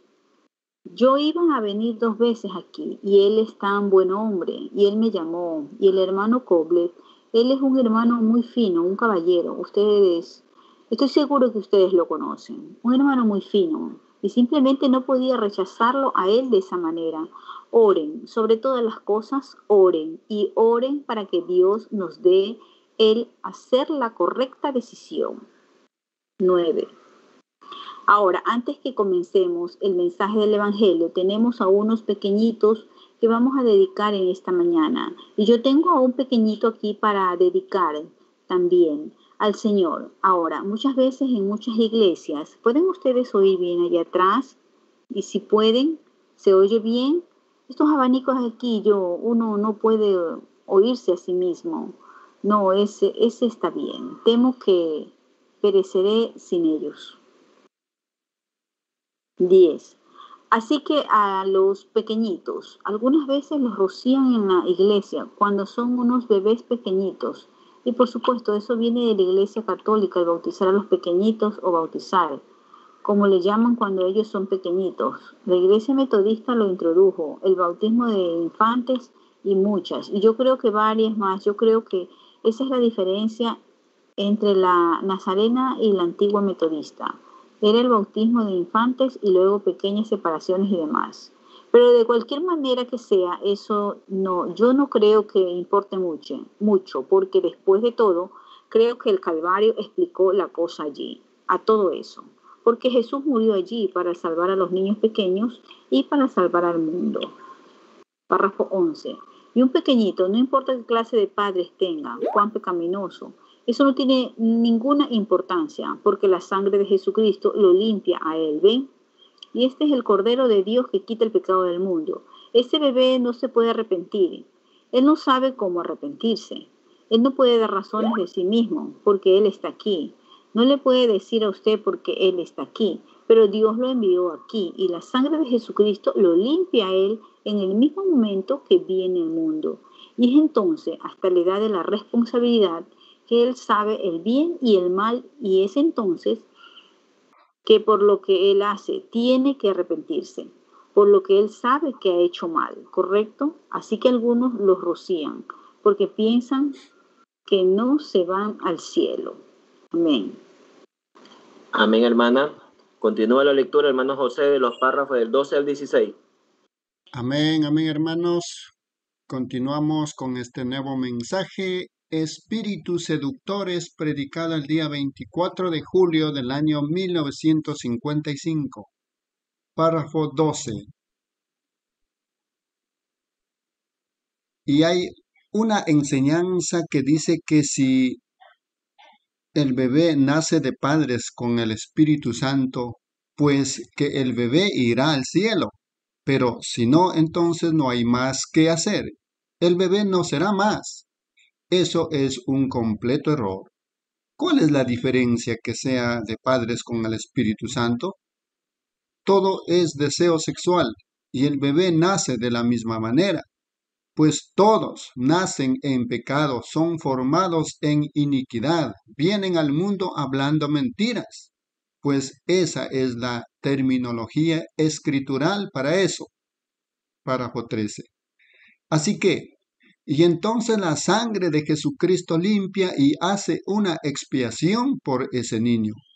Si muriera, él perfectamente iría directo a la presencia de Dios así hubiera nacido de los padres más pecaminosos del mundo, mientras que alcanza la edad de responsabilidad cuando sabe entre el bien y el mal. Y entonces lo que hace de ahí en adelante tiene que recibir el perdón por eso, tiene que tener su propio arrepentimiento de ahí en adelante, pero mientras que sea un bebé. Párrafo 14. Ahora, la manera en que nosotros tratamos de seguir eso aquí en el tabernáculo es el único lugar del mundo al que voy donde predico doctrina, aquí en el tabernáculo, porque esta es nuestra iglesia. Y nosotros predicamos doctrina aquí para mantener al pueblo en línea. Otros hombres en sus iglesias predican lo que sea que ellos creen. Y son mis hermanos, y podemos diferir un poco pero con todo seguimos siendo hermanos. Y pero aquí en el tabernáculo nosotros predicamos lo que consideramos ser doctrina escritural. Y en ella nosotros vemos que para la dedicación de los niños, entre paréntesis, lo que nosotros llamamos una dedicación, la única vez en la Biblia por la cual podemos averiguarlo en el Nuevo Testamento, donde se tuvo que hacer algo con los niños o que Cristo tuvo algo que ver con eso en una ceremonia, fue cuando Él los tomó en sus brazos y puso sus manos sobre ellos y los bendijo.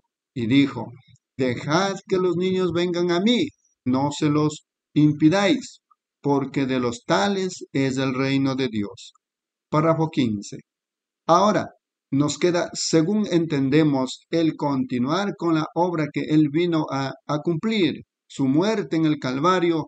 Él estuvo con nosotros y fue de, vino de Dios al mundo, regresó de Dios o del mundo a Dios y vino nuevamente en forma del Espíritu Santo y está con nosotros, en nosotros hasta el fin del mundo llevando a cabo en su iglesia la misma obra que hizo cuando Él estuvo aquí en la tierra. Y conforme a eso, nosotros llevamos a nuestros niños del otro, del uno al otro, a los ministros y oran por ellos, les ponen las manos y los dedican a Dios. Solo es una pequeña ceremonia para decir que agradecemos lo que el Señor ha hecho por nosotros y los niños. Párrafo 16 por último. Ahora, si su pequeño ha sido rociado o de la manera como sea en su iglesia, piense, nosotros no decimos una sola cosa en contra de eso. Está bien, pero escrituralmente solo encontramos un lugar, es donde Jesús mismo los bendijo. Esto leeré el Señor mediante aquí de aquí de la palabra. Encontramos en San Lucas el creo que es el, el, capítulo 10, y comenzando con el versículo 13, y le presentaban niños para que los tocase, y los discípulos reprendían a los que los representaban. Viéndolo Jesús se indignó y les dijo, Dejad a los niños venir a mí, y no se los impidéis, porque de los tales es el reino de Dios. De cierto os digo que el que no reciba el reino de Dios como un niño, no entrará en él y tomándolos él en los brazos y poniendo las manos sobre ellos, los bendecía. Amén, hermanos. Dios le bendiga. Dios le bendiga, hermano. Continúa la lectura. Hermana Reina en los párrafos 17 al 22. Amén, hermanos. Continuando con la lectura del mensaje, Espíritus Seductores, predicado el 24 de julio del año 1955. Párrafo 17.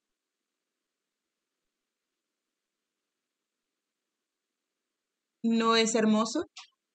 Él dijo, pues dejad a los niños venir a mí, no se los impidáis, porque de los tales, aquellos como ese, ese niño, es el reino de Dios, y tomándolos en sus brazos, los bendecía.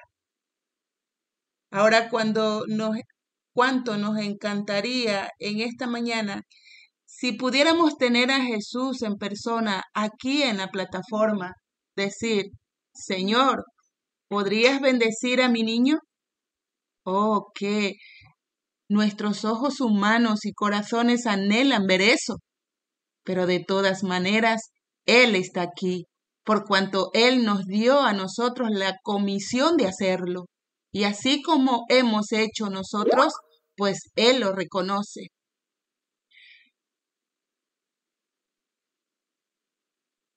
Pues Él lo reconoce. Al nosotros recibir los que Él envió, lo recibimos a Él, que lo envió a Él.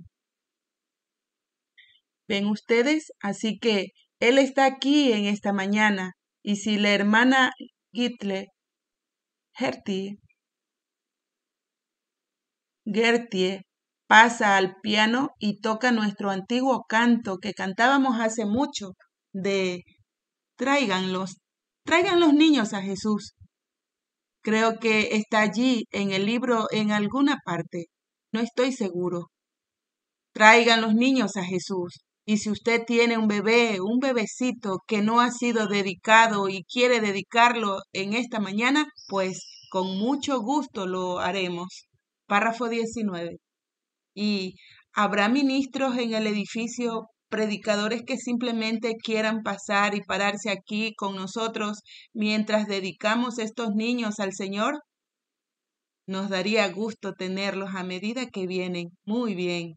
¿Está allí en el libro? ¿Lo encontraste, hermano Neville?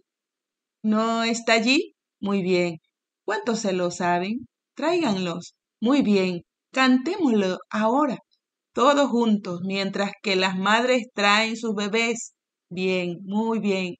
Tráiganlos, tráiganlos, tráiganlos de los campos de pecado. Tráiganlos, tráiganlos, tráiganlos errantes a Jesús. Tráiganlos, tráiganlos, tráiganlos de los campos de pecado. Tráiganlos, tráiganlos, tráiganlos pequeños a Jesús. Párrafo 20. Inclinemos nuestros rostros por un momento. Nuestro Padre Celestial, parados alrededor del altar en esta mañana, están las madres y los padres cargando en sus brazos sus pequeños retoños que tan bondadosamente tú les has, has dado. Están muy agradecidos por ellos, Señor, y los están trayendo aquí al altar en esta mañana, en la casa de Dios, para dedicarlos, entregarte a ti sus vidas. Tú has dado y oramos, Dios, que bendigas y los sustentes a cada uno, guíalos y que los ángeles guardianes de Dios los cuiden a cada uno. Concédeles largas vidas de felicidad y gozo, que ellos crezcan a ser hombres y mujeres de Dios del mañana, y si hay un mañana, Párrafo 21. Dios, oramos que levantes predicadores y profetas y maestros de este grupo de bebés que están alrededor del altar en esta mañana. Y cuando seamos ancianos y no podamos más, alguien tendrá que llevarnos de lugar a lugar, que podamos pararnos y oír el Evangelio predicado por estos que están aquí hoy. Concédelo, Señor, y algún día glorioso, cuando todo haya terminado, nuestras vidas hayan concluido, estos padres alrededor del altar, que seamos como Jacob, de antaño, cuando bendijo a todos sus hijos y les dijo cuál sería su fin en el último día. Entonces, levantando la mirada, dijo, Saben, debo reunirme con mi pueblo, y algún día glorioso, él y toda su descendencia se reunirán en una mejor tierra. Con razón, Balaán dijo, que mi postrimería sea como la suya. Dios, oro para que concedas estas bendiciones sobre los padres. Párrafo 22. Y ahora mientras vamos a imponerles las manos, qué, qué maravilloso y cuán humilde lo has hecho, Señor, que nosotros los hombres de esta tierra tuviéramos el privilegio de bendecir a los pequeños en tu nombre. Sabiendo esto, que lo que nosotros pedimos nos es concedido. Ahora que los vamos a bendecir, que Jesús, la persona invisible, el ser omnipotente, se pare cerca y bendiga cada niño mientras les ponemos las manos y se los ofrecemos a Él, porque lo pedimos en su nombre. Amén. Dios le bendiga, hermanos. Dios le bendiga, hermana. Continúa la lectura, hermana Erika, en los párrafos 23 al 31. Dios le bendiga, hermanos. Continuamos con el mensaje Espíritus Seductores del año 55, julio 24, párrafo 23. El hermano Glenn Fong tiene tres pequeños que quiere dedicar al Señor. El hermano Branham dedica bebés. Un pequeño closet por allá en la tierra al norte. Tú me prometiste a mí este niño, Padre, que tus bendiciones descansen sobre él. José, hijo mío, yo te entrego a Dios y que tu vida sea una bendición, que seas un profeta, José, que la gracia de Dios repose contigo, que el Dios de tu Padre, el Señor Jesucristo, siempre te bendiga, haga de tu vida una bendición para otros. En el nombre de Jesucristo yo lo bendigo. Amén. Párrafo 24. ¿Aman a los niños? Hay algo en cuanto a los pequeños que cada madre quiere que su niño sea bendecido. Ahora, así es nuestro Padre Celestial con nosotros, los adultos, en esta mañana. Él quiere, él quiere que cada uno de nosotros sea bendecido. Él nos presenta ante ciertas cosas, sencillamente nos la pasa. Como si dijera, toma, quiero que seas bendecido, hijo mío. ¿Verdad que Él es maravilloso? Por tanto, podemos estar agradecidos por un Padre Celestial así. Párrafo 25. Ahora, en lo de más bendiciones de los bebitos, saben, el otro día yo estaba leyendo aquí en la escritura, por aquí en algún lugar, era en el Antiguo Testamento, de una, una gran cosa que yo, yo realmente agradecí poder leer. Aquí está, aquí mismo. Y Natanael dijo a David, haz todo lo que está en tu corazón, porque Dios está contigo. Ven, haz lo que está en tu corazón. Y muchas veces yo yo me he dado cuenta de esto, amigo cristiano, que he hablado cosas sin saber lo que iba a decir y me doy cuenta que esto se cumplirá lo que uno dice. Párrafo 26. Cierta, cierta vez fue dicho, Jesús bajó, la bajó de la montaña y él vio un árbol que no tenía nada, solo las hojas y no había fruto. Y él dijo, de aquí en adelante ningún hombre coma de ti. Párrafo 27. Y el día siguiente, al pasar, los apóstoles vieron las hojas secas. Él dijo, miren qué tan rápido se ha secado el árbol. Párrafo 28. Jesús dijo, tengan fe en Dios, porque cualquier cosa que ustedes deseen, cuando oren, crean que la, que la reciben y la tendrán, y las cosas que ustedes digan recibirán lo que han dicho. Piénsenlo, oh, y tal vez hoy el gran Espíritu Santo de Dios parado aquí al altar, ustedes dicen, pues no tiene que estar decorado, no tiene que ser un gran lugar elaborado. Párrafo 29. Jacob acercó una piedra cierta vez y recostó sobre ella su cabeza. Y hasta el día de hoy aún es reconocida como una piedra de Scone o piedra de Scone, la cual los grandes hombres de la tierra aún cargan esa piedra para inaugurar a los reyes sobre esta piedra. Tan solo es una piedra común allá en el campo. Bet-El tan solo era un montón de piedras arrumadas la una sobre la otra, y vino a ser la casa de Dios, el lugar de morada.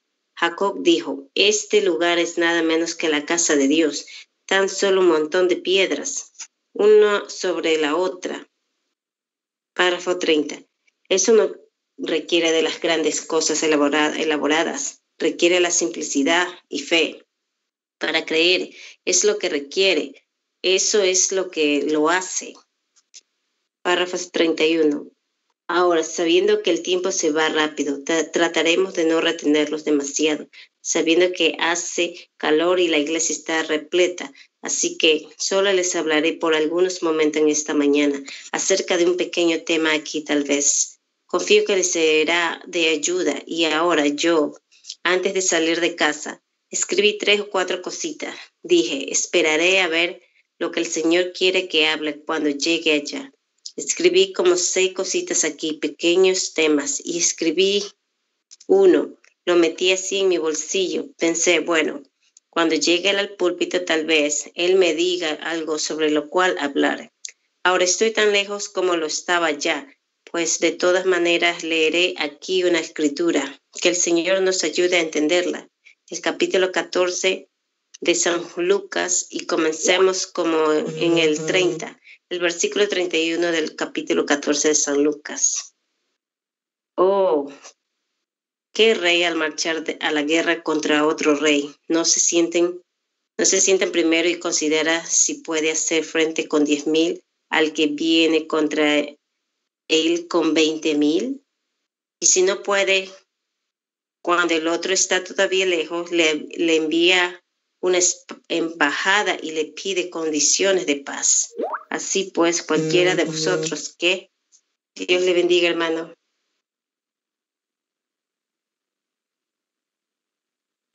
Dios le bendiga, hermana. Voy a continuar con los párrafos del 32 al 40 del mensaje Espíritus Seductores. Párrafo 32. Quiero que se fijen detenidamente ahora. Primero, él dijo, es una parábola. Él dijo, ahora viene un rey y él tiene veinte mil soldados y este rey saldrá a enfrentarlo y él solo tiene diez mil soldados. Por tanto, el primero se sienta y se pregunta si está listo, si podrá lograrlo o no. Muy bien, de vosotros no, no renuncia a todo lo que posee, no puede ser mi discípulo. ¿Ven? Párrafo 33.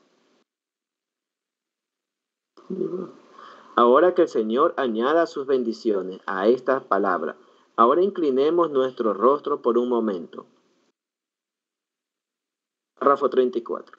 Nuestro Padre Celestial, Tú quien conoce todas las cosas y no hace acepción, y no haces acepción de personas entre los hombres, pues que el hombre, para que te acuerdes de él,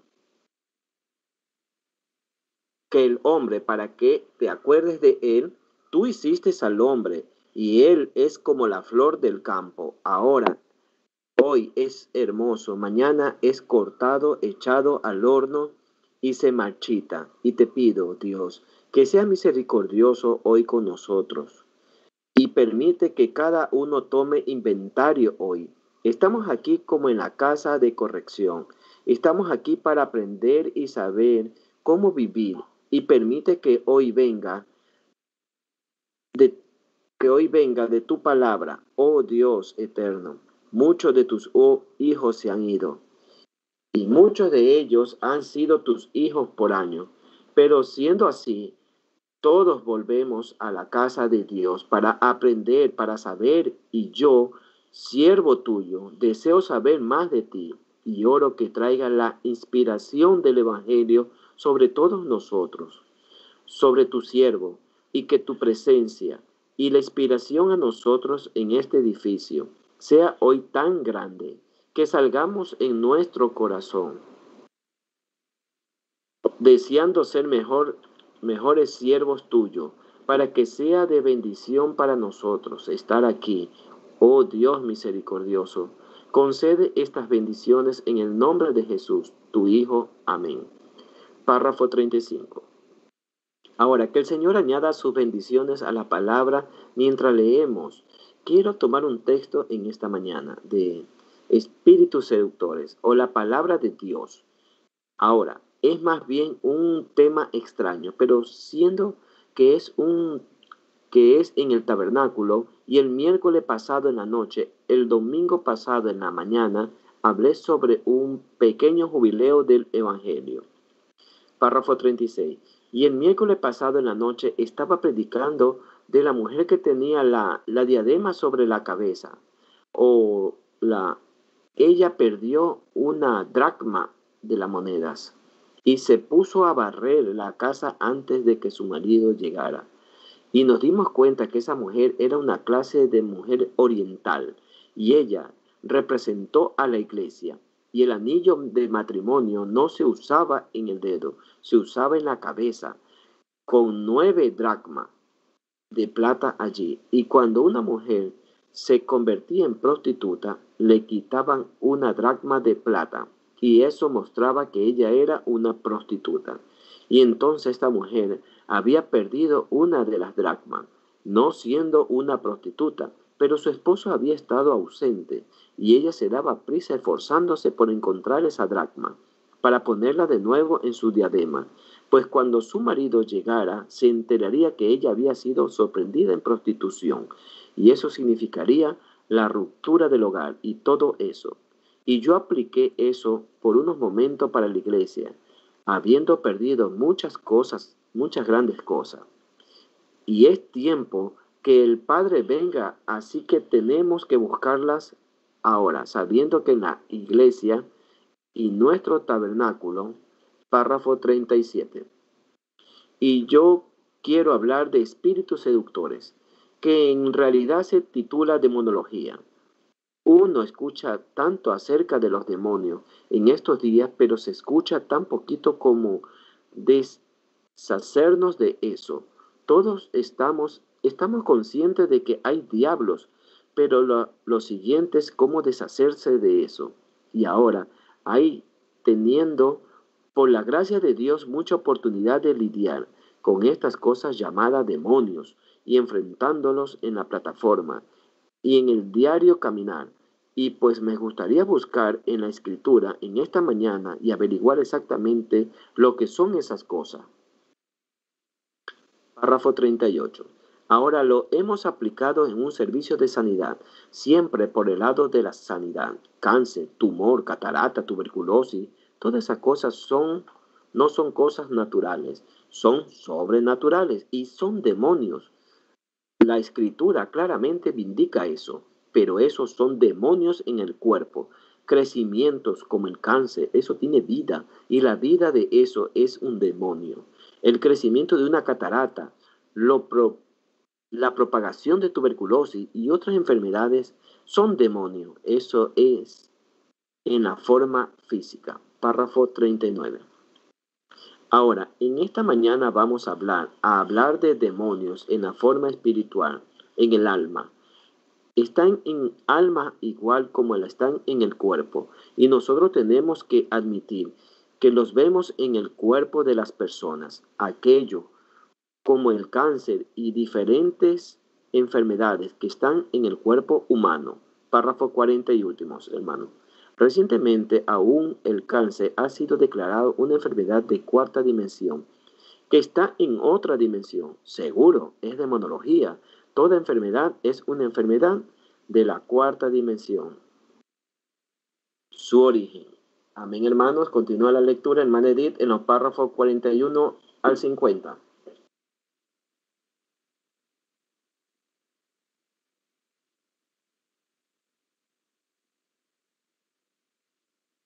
Continuando con la lectura del mensaje Espíritus Seductores. Párrafo 41.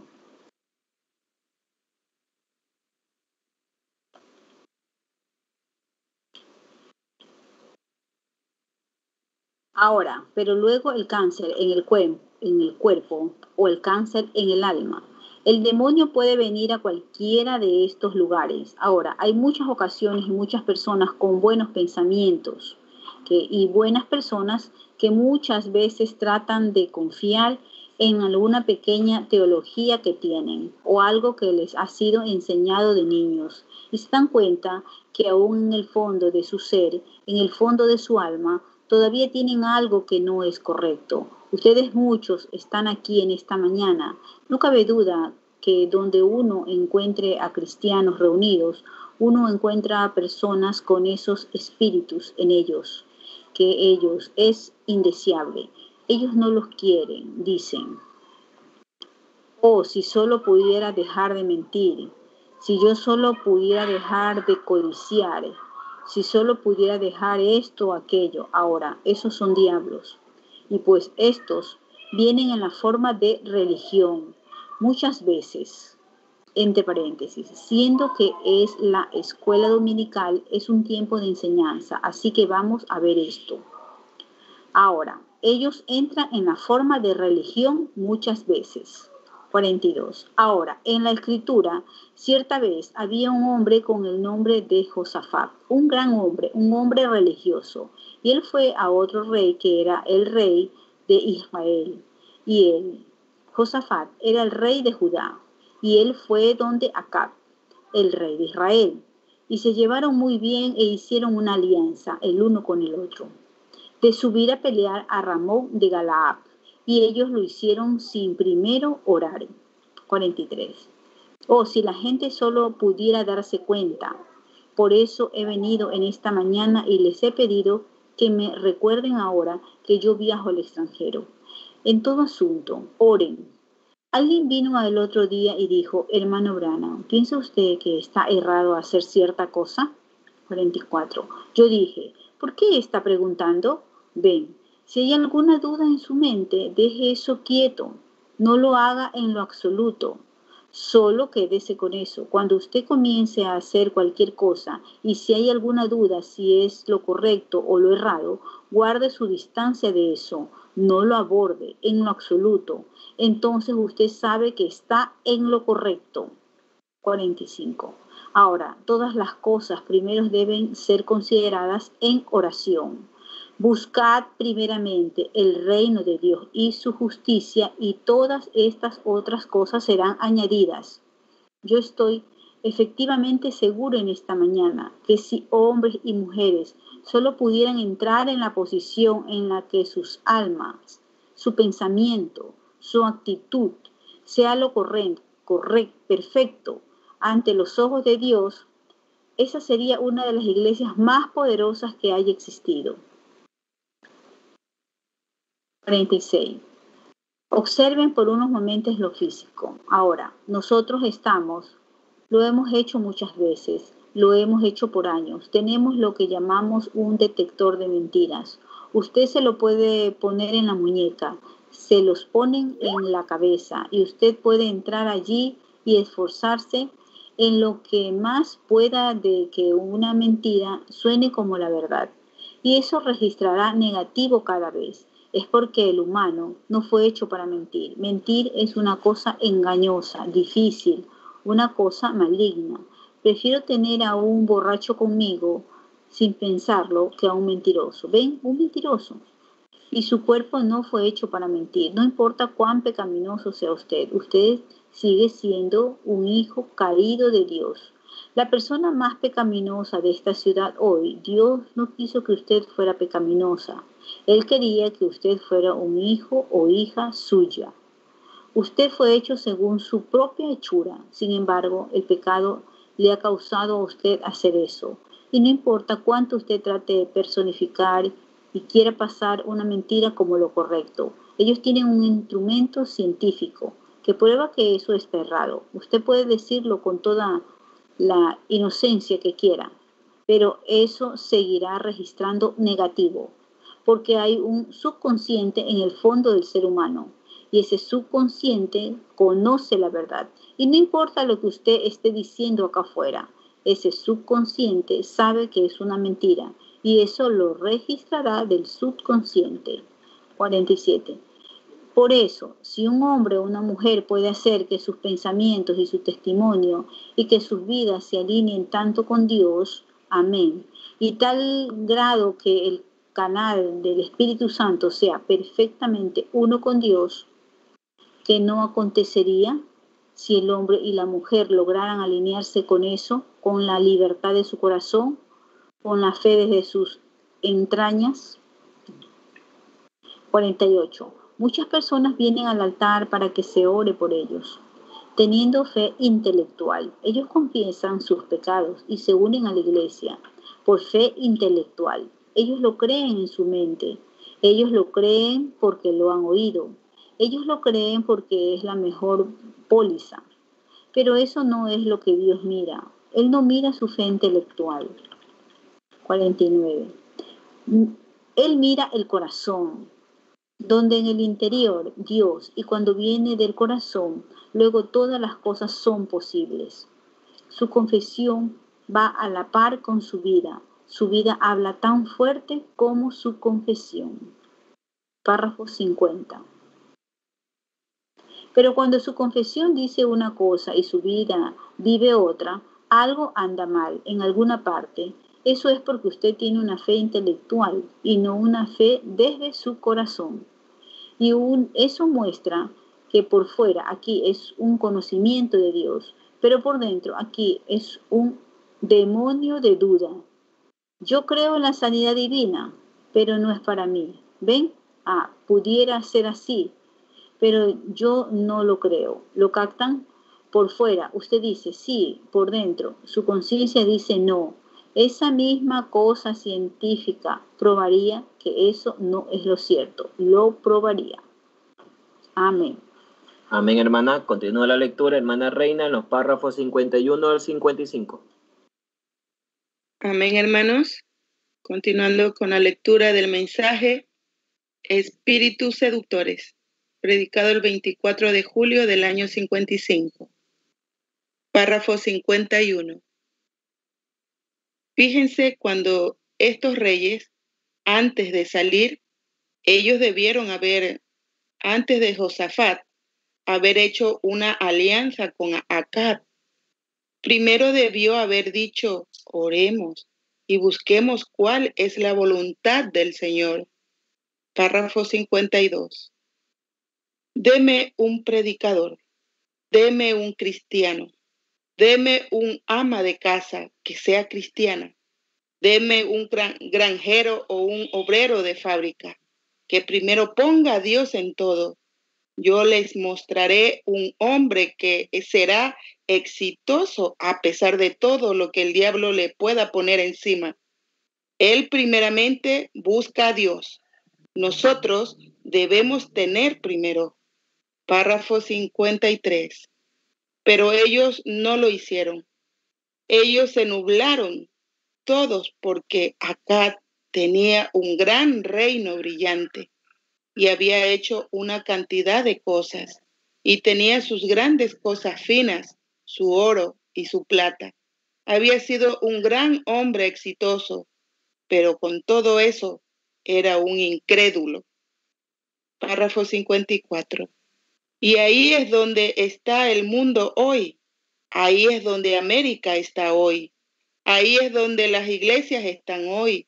Hemos edificado algunas de las mejores iglesias que se hayan construido.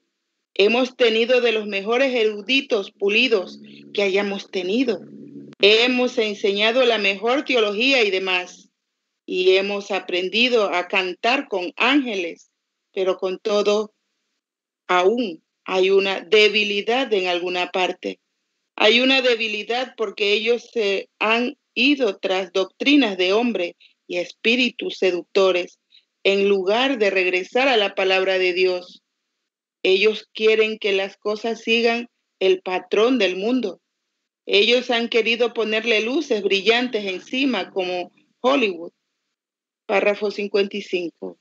El otro día aquí una denominación famosa, el Full Gospel Real de Kansas City, o perdón, de, Denver, en la convención, está construyendo una iglesia de un millón de dólares y miles de misioneros esperando 50 centavos de esa misma denominación para llevarles el Evangelio a los paganos. Lo que nosotros necesitamos hoy es un avivamiento con mentalidad misionera, enviado de Dios, nacido del Espíritu Santo, que tenga el celo de Dios para empujar hasta allá en, las junglas y hacer algo por Dios, en lugar de edificar grandes iglesias finas y querer brillar más que el vecino. Amén, hermanos. Dios le bendiga. Dios le bendiga, hermana. Hermanos y hermanas, hemos concluido con el compañerismo. Hermano José nos ayuda con la oración para culminar el compañerismo. Amén, amén, mis hermanos. Dios le bendiga. Antes de la culminación, quisiera dejar resaltado el mensaje anterior. Si me acompañan, por favor, los siguientes párrafos. El mensaje anterior es Demonología, predicado el 24 de julio del año 1955. Vamos al párrafo 24.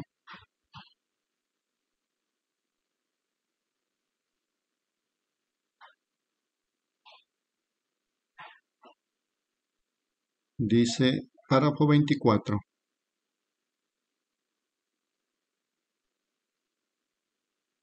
Ahora lo hemos aplicado en un servicio de sanidad, siempre en el lado de sanidad. Cáncer, tumor, catarata, todas esas cosas no son cosas naturales. Son sobrenaturales y son demonios. La escritura claramente vindica eso, pero esos son demonios en el cuerpo, con crecimientos como el cáncer que tiene vida en él. Y la vida de eso es un demonio. El crecimiento de una catarata, la diseminación de la tuberculosis y otras enfermedades son demonios. Eso es en la forma física. Ahora, en esta mañana vamos a hablar de demonios en la forma espiritual, en el alma. Ellos están en el alma igual como están en el cuerpo y admitimos que los vemos en el cuerpo de la gente, tales como cánceres y diferentes enfermedades que están en el cuerpo humano. Apenas recientemente aún el cáncer ha sido declarado ser una enfermedad de la cuarta dimensión, que está en otra dimensión, seguro, es demonología. Toda enfermedad es una enfermedad de la cuarta dimensión, el principio de eso. Vamos al párrafo 39.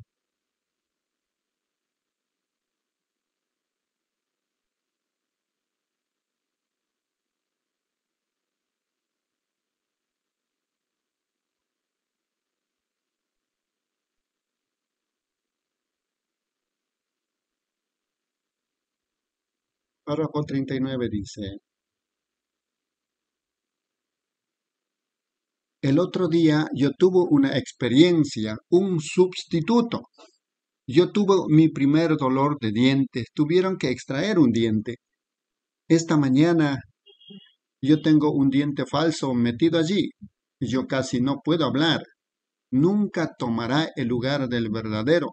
No, Señor. Oh, hermano, ustedes pudieran tomar a un hombre y vestirlo, hacerlo de madera, de arcilla blanca, de lo que ustedes quieran, y arreglarlo bien como nunca. Él no tiene sensaciones ni conciencia. Él nunca tomará el lugar de algún hombre verdadero, ni tampoco una conversión falsa que se acerque y diga, yo me he unido a la iglesia, yo trato de hacerlo mejor, eso nunca tomará el lugar de la genuina conversión del Espíritu Santo chapada a la antigua enviada por Dios, que hace a un hombre diferente en su corazón. No lo puede hacer porque no hay vida en eso, no hay nada de que le dé vida a él. Pasamos al 69.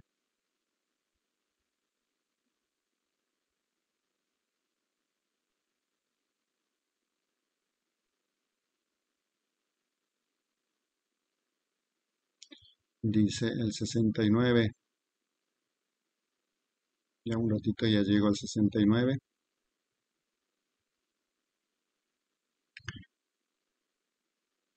Del mismo mensaje de monología predicado el día 24 de julio del año 1955. Y yo digo hoy que cualquier persona que verdaderamente quiere encontrar a Dios no le permitirán a ninguna iglesia que les dicte a ellos la cosa que no pueden vivir. Eso o lo otro. Si ustedes tienen la naturaleza de Dios en ustedes, ustedes irán rumbo a la santidad. Ustedes irán a la cosa correcta. Ustedes se pararán por la cosa correcta. Ustedes harán la cosa correcta. Ustedes pensarán la cosa correcta, ustedes vivirán la cosa correcta. Si usted es un pato, usted ama el agua. Si usted es un cristiano, usted ama a Cristo. Si usted es un diablo, usted ama las cosas del diablo. Si usted es un buitre, usted come cosas muertas. Si usted es un cerdo, usted comerá estiércol. ¿Dónde están ustedes hoy? Correcto, ustedes están afirmando que están aquí arriba comiendo las cosas del Señor entonces van y se asocian con el diablo. Hay algo mal en eso. Dejen de escuchar a esos espíritus. Son diablos. No importa si ustedes tienen que pararse solos. Hombres y mujeres que alguna vez alcanzaron algo, casi han sido hombres y mujeres que se pararon solos con Dios. Y por último, el párrafo 88.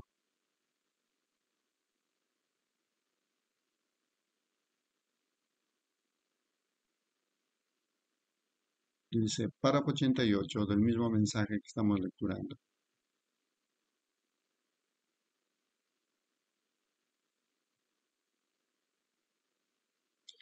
¿No los hace que se sientan bien? ¿Cuántos se sienten bien? Solo levanten su mano, ahora digan, yo me siento muy bien, el Espíritu Santo les restregó todo, entonces nosotros qué? Andaremos en la luz. No escuchen a ninguno, ¿Y qué es la luz? Tu palabra es una lámpara, así que entonces andaré en la luz, preciosa luz, donde se encuentra cual rocío el perdón, brilla donde quiera, de día y de noche. Jesús del mundo es. Ahora, ¿no es eso maravilloso? Parece como que no podemos terminar. El Espíritu Santo simplemente está conmoviéndonos. ¿No se sienten de esa manera? Me siento como que no puedo terminar, parece como que no puedo. El Evangelio está goteando con sangre, la sangre de los discípulos que murieron por la verdad. Este Evangelio del Espíritu Santo está goteando con sangre. El Espíritu que murió por este plan del Espíritu Santo. Juan fue Juan el Bautista, pero él murió como hombre. Luego vino el Señor Jesús, lo crucificaron. Él predicó que el Espíritu salvaría al hombre del pecado. Allí estaban Pedro y Pablo y Juan el Divino. Dieron su vida para que este Evangelio pueda brillar. Derramaron su sangre como los profetas de la antigüedad para que la verdadera palabra de Dios pudiera honestamente ser dicha. Luego apedrearon a Esteban. Él predicó contra el pecado. Él los hizo enojar tanto. Le mayugaron su cabeza. Pero él murió en el espíritu dio el espíritu y fue a unirse con los otros. Ese grupo dador de vida sigue goteando con sangre. Sí, está goteando con sangre. Este Evangelio del Espíritu Santo sigue goteando con sangre. La sangre de los discípulos que murieron por la verdad. Este Evangelio del Espíritu Santo sigue goteando con sangre. Escuchen, hay almas bajo el altar, están clamando. ¿Hasta cuándo? Para que el Señor castigue a aquellos que han hecho mal pero habrán más que darán la sangre de su vida por este Evangelio del Espíritu Santo con su sangre carmesí. Solo sigue goteando con sangre. Aleluya. Está goteando con sangre. Yo quiero ser uno de ellos. El Evangelio del Espíritu Santo está goteando con sangre. La sangre de los discípulos que murieron por la verdad. Este Evangelio del Espíritu Santo está goteando con sangre. Amén, mis hermanos. Dice en, en la Biblia, en primera de Juan 1.7, dice, pero si andamos en la luz, como Él está en la luz, tenemos comunión unos con otros y la sangre de Jesucristo, su Hijo, nos limpia de todo pecado. Amén, hermanos. Dios le bendiga. Vamos a dar gracias, Padre Celestial. Qué preciosas son tus palabras, Señor. Pero si no consideramos que tu mensaje. Y el Evangelio ha sido con sangre, no podríamos entender grandes profetas, grandes discípulos de allá cuando estabas tú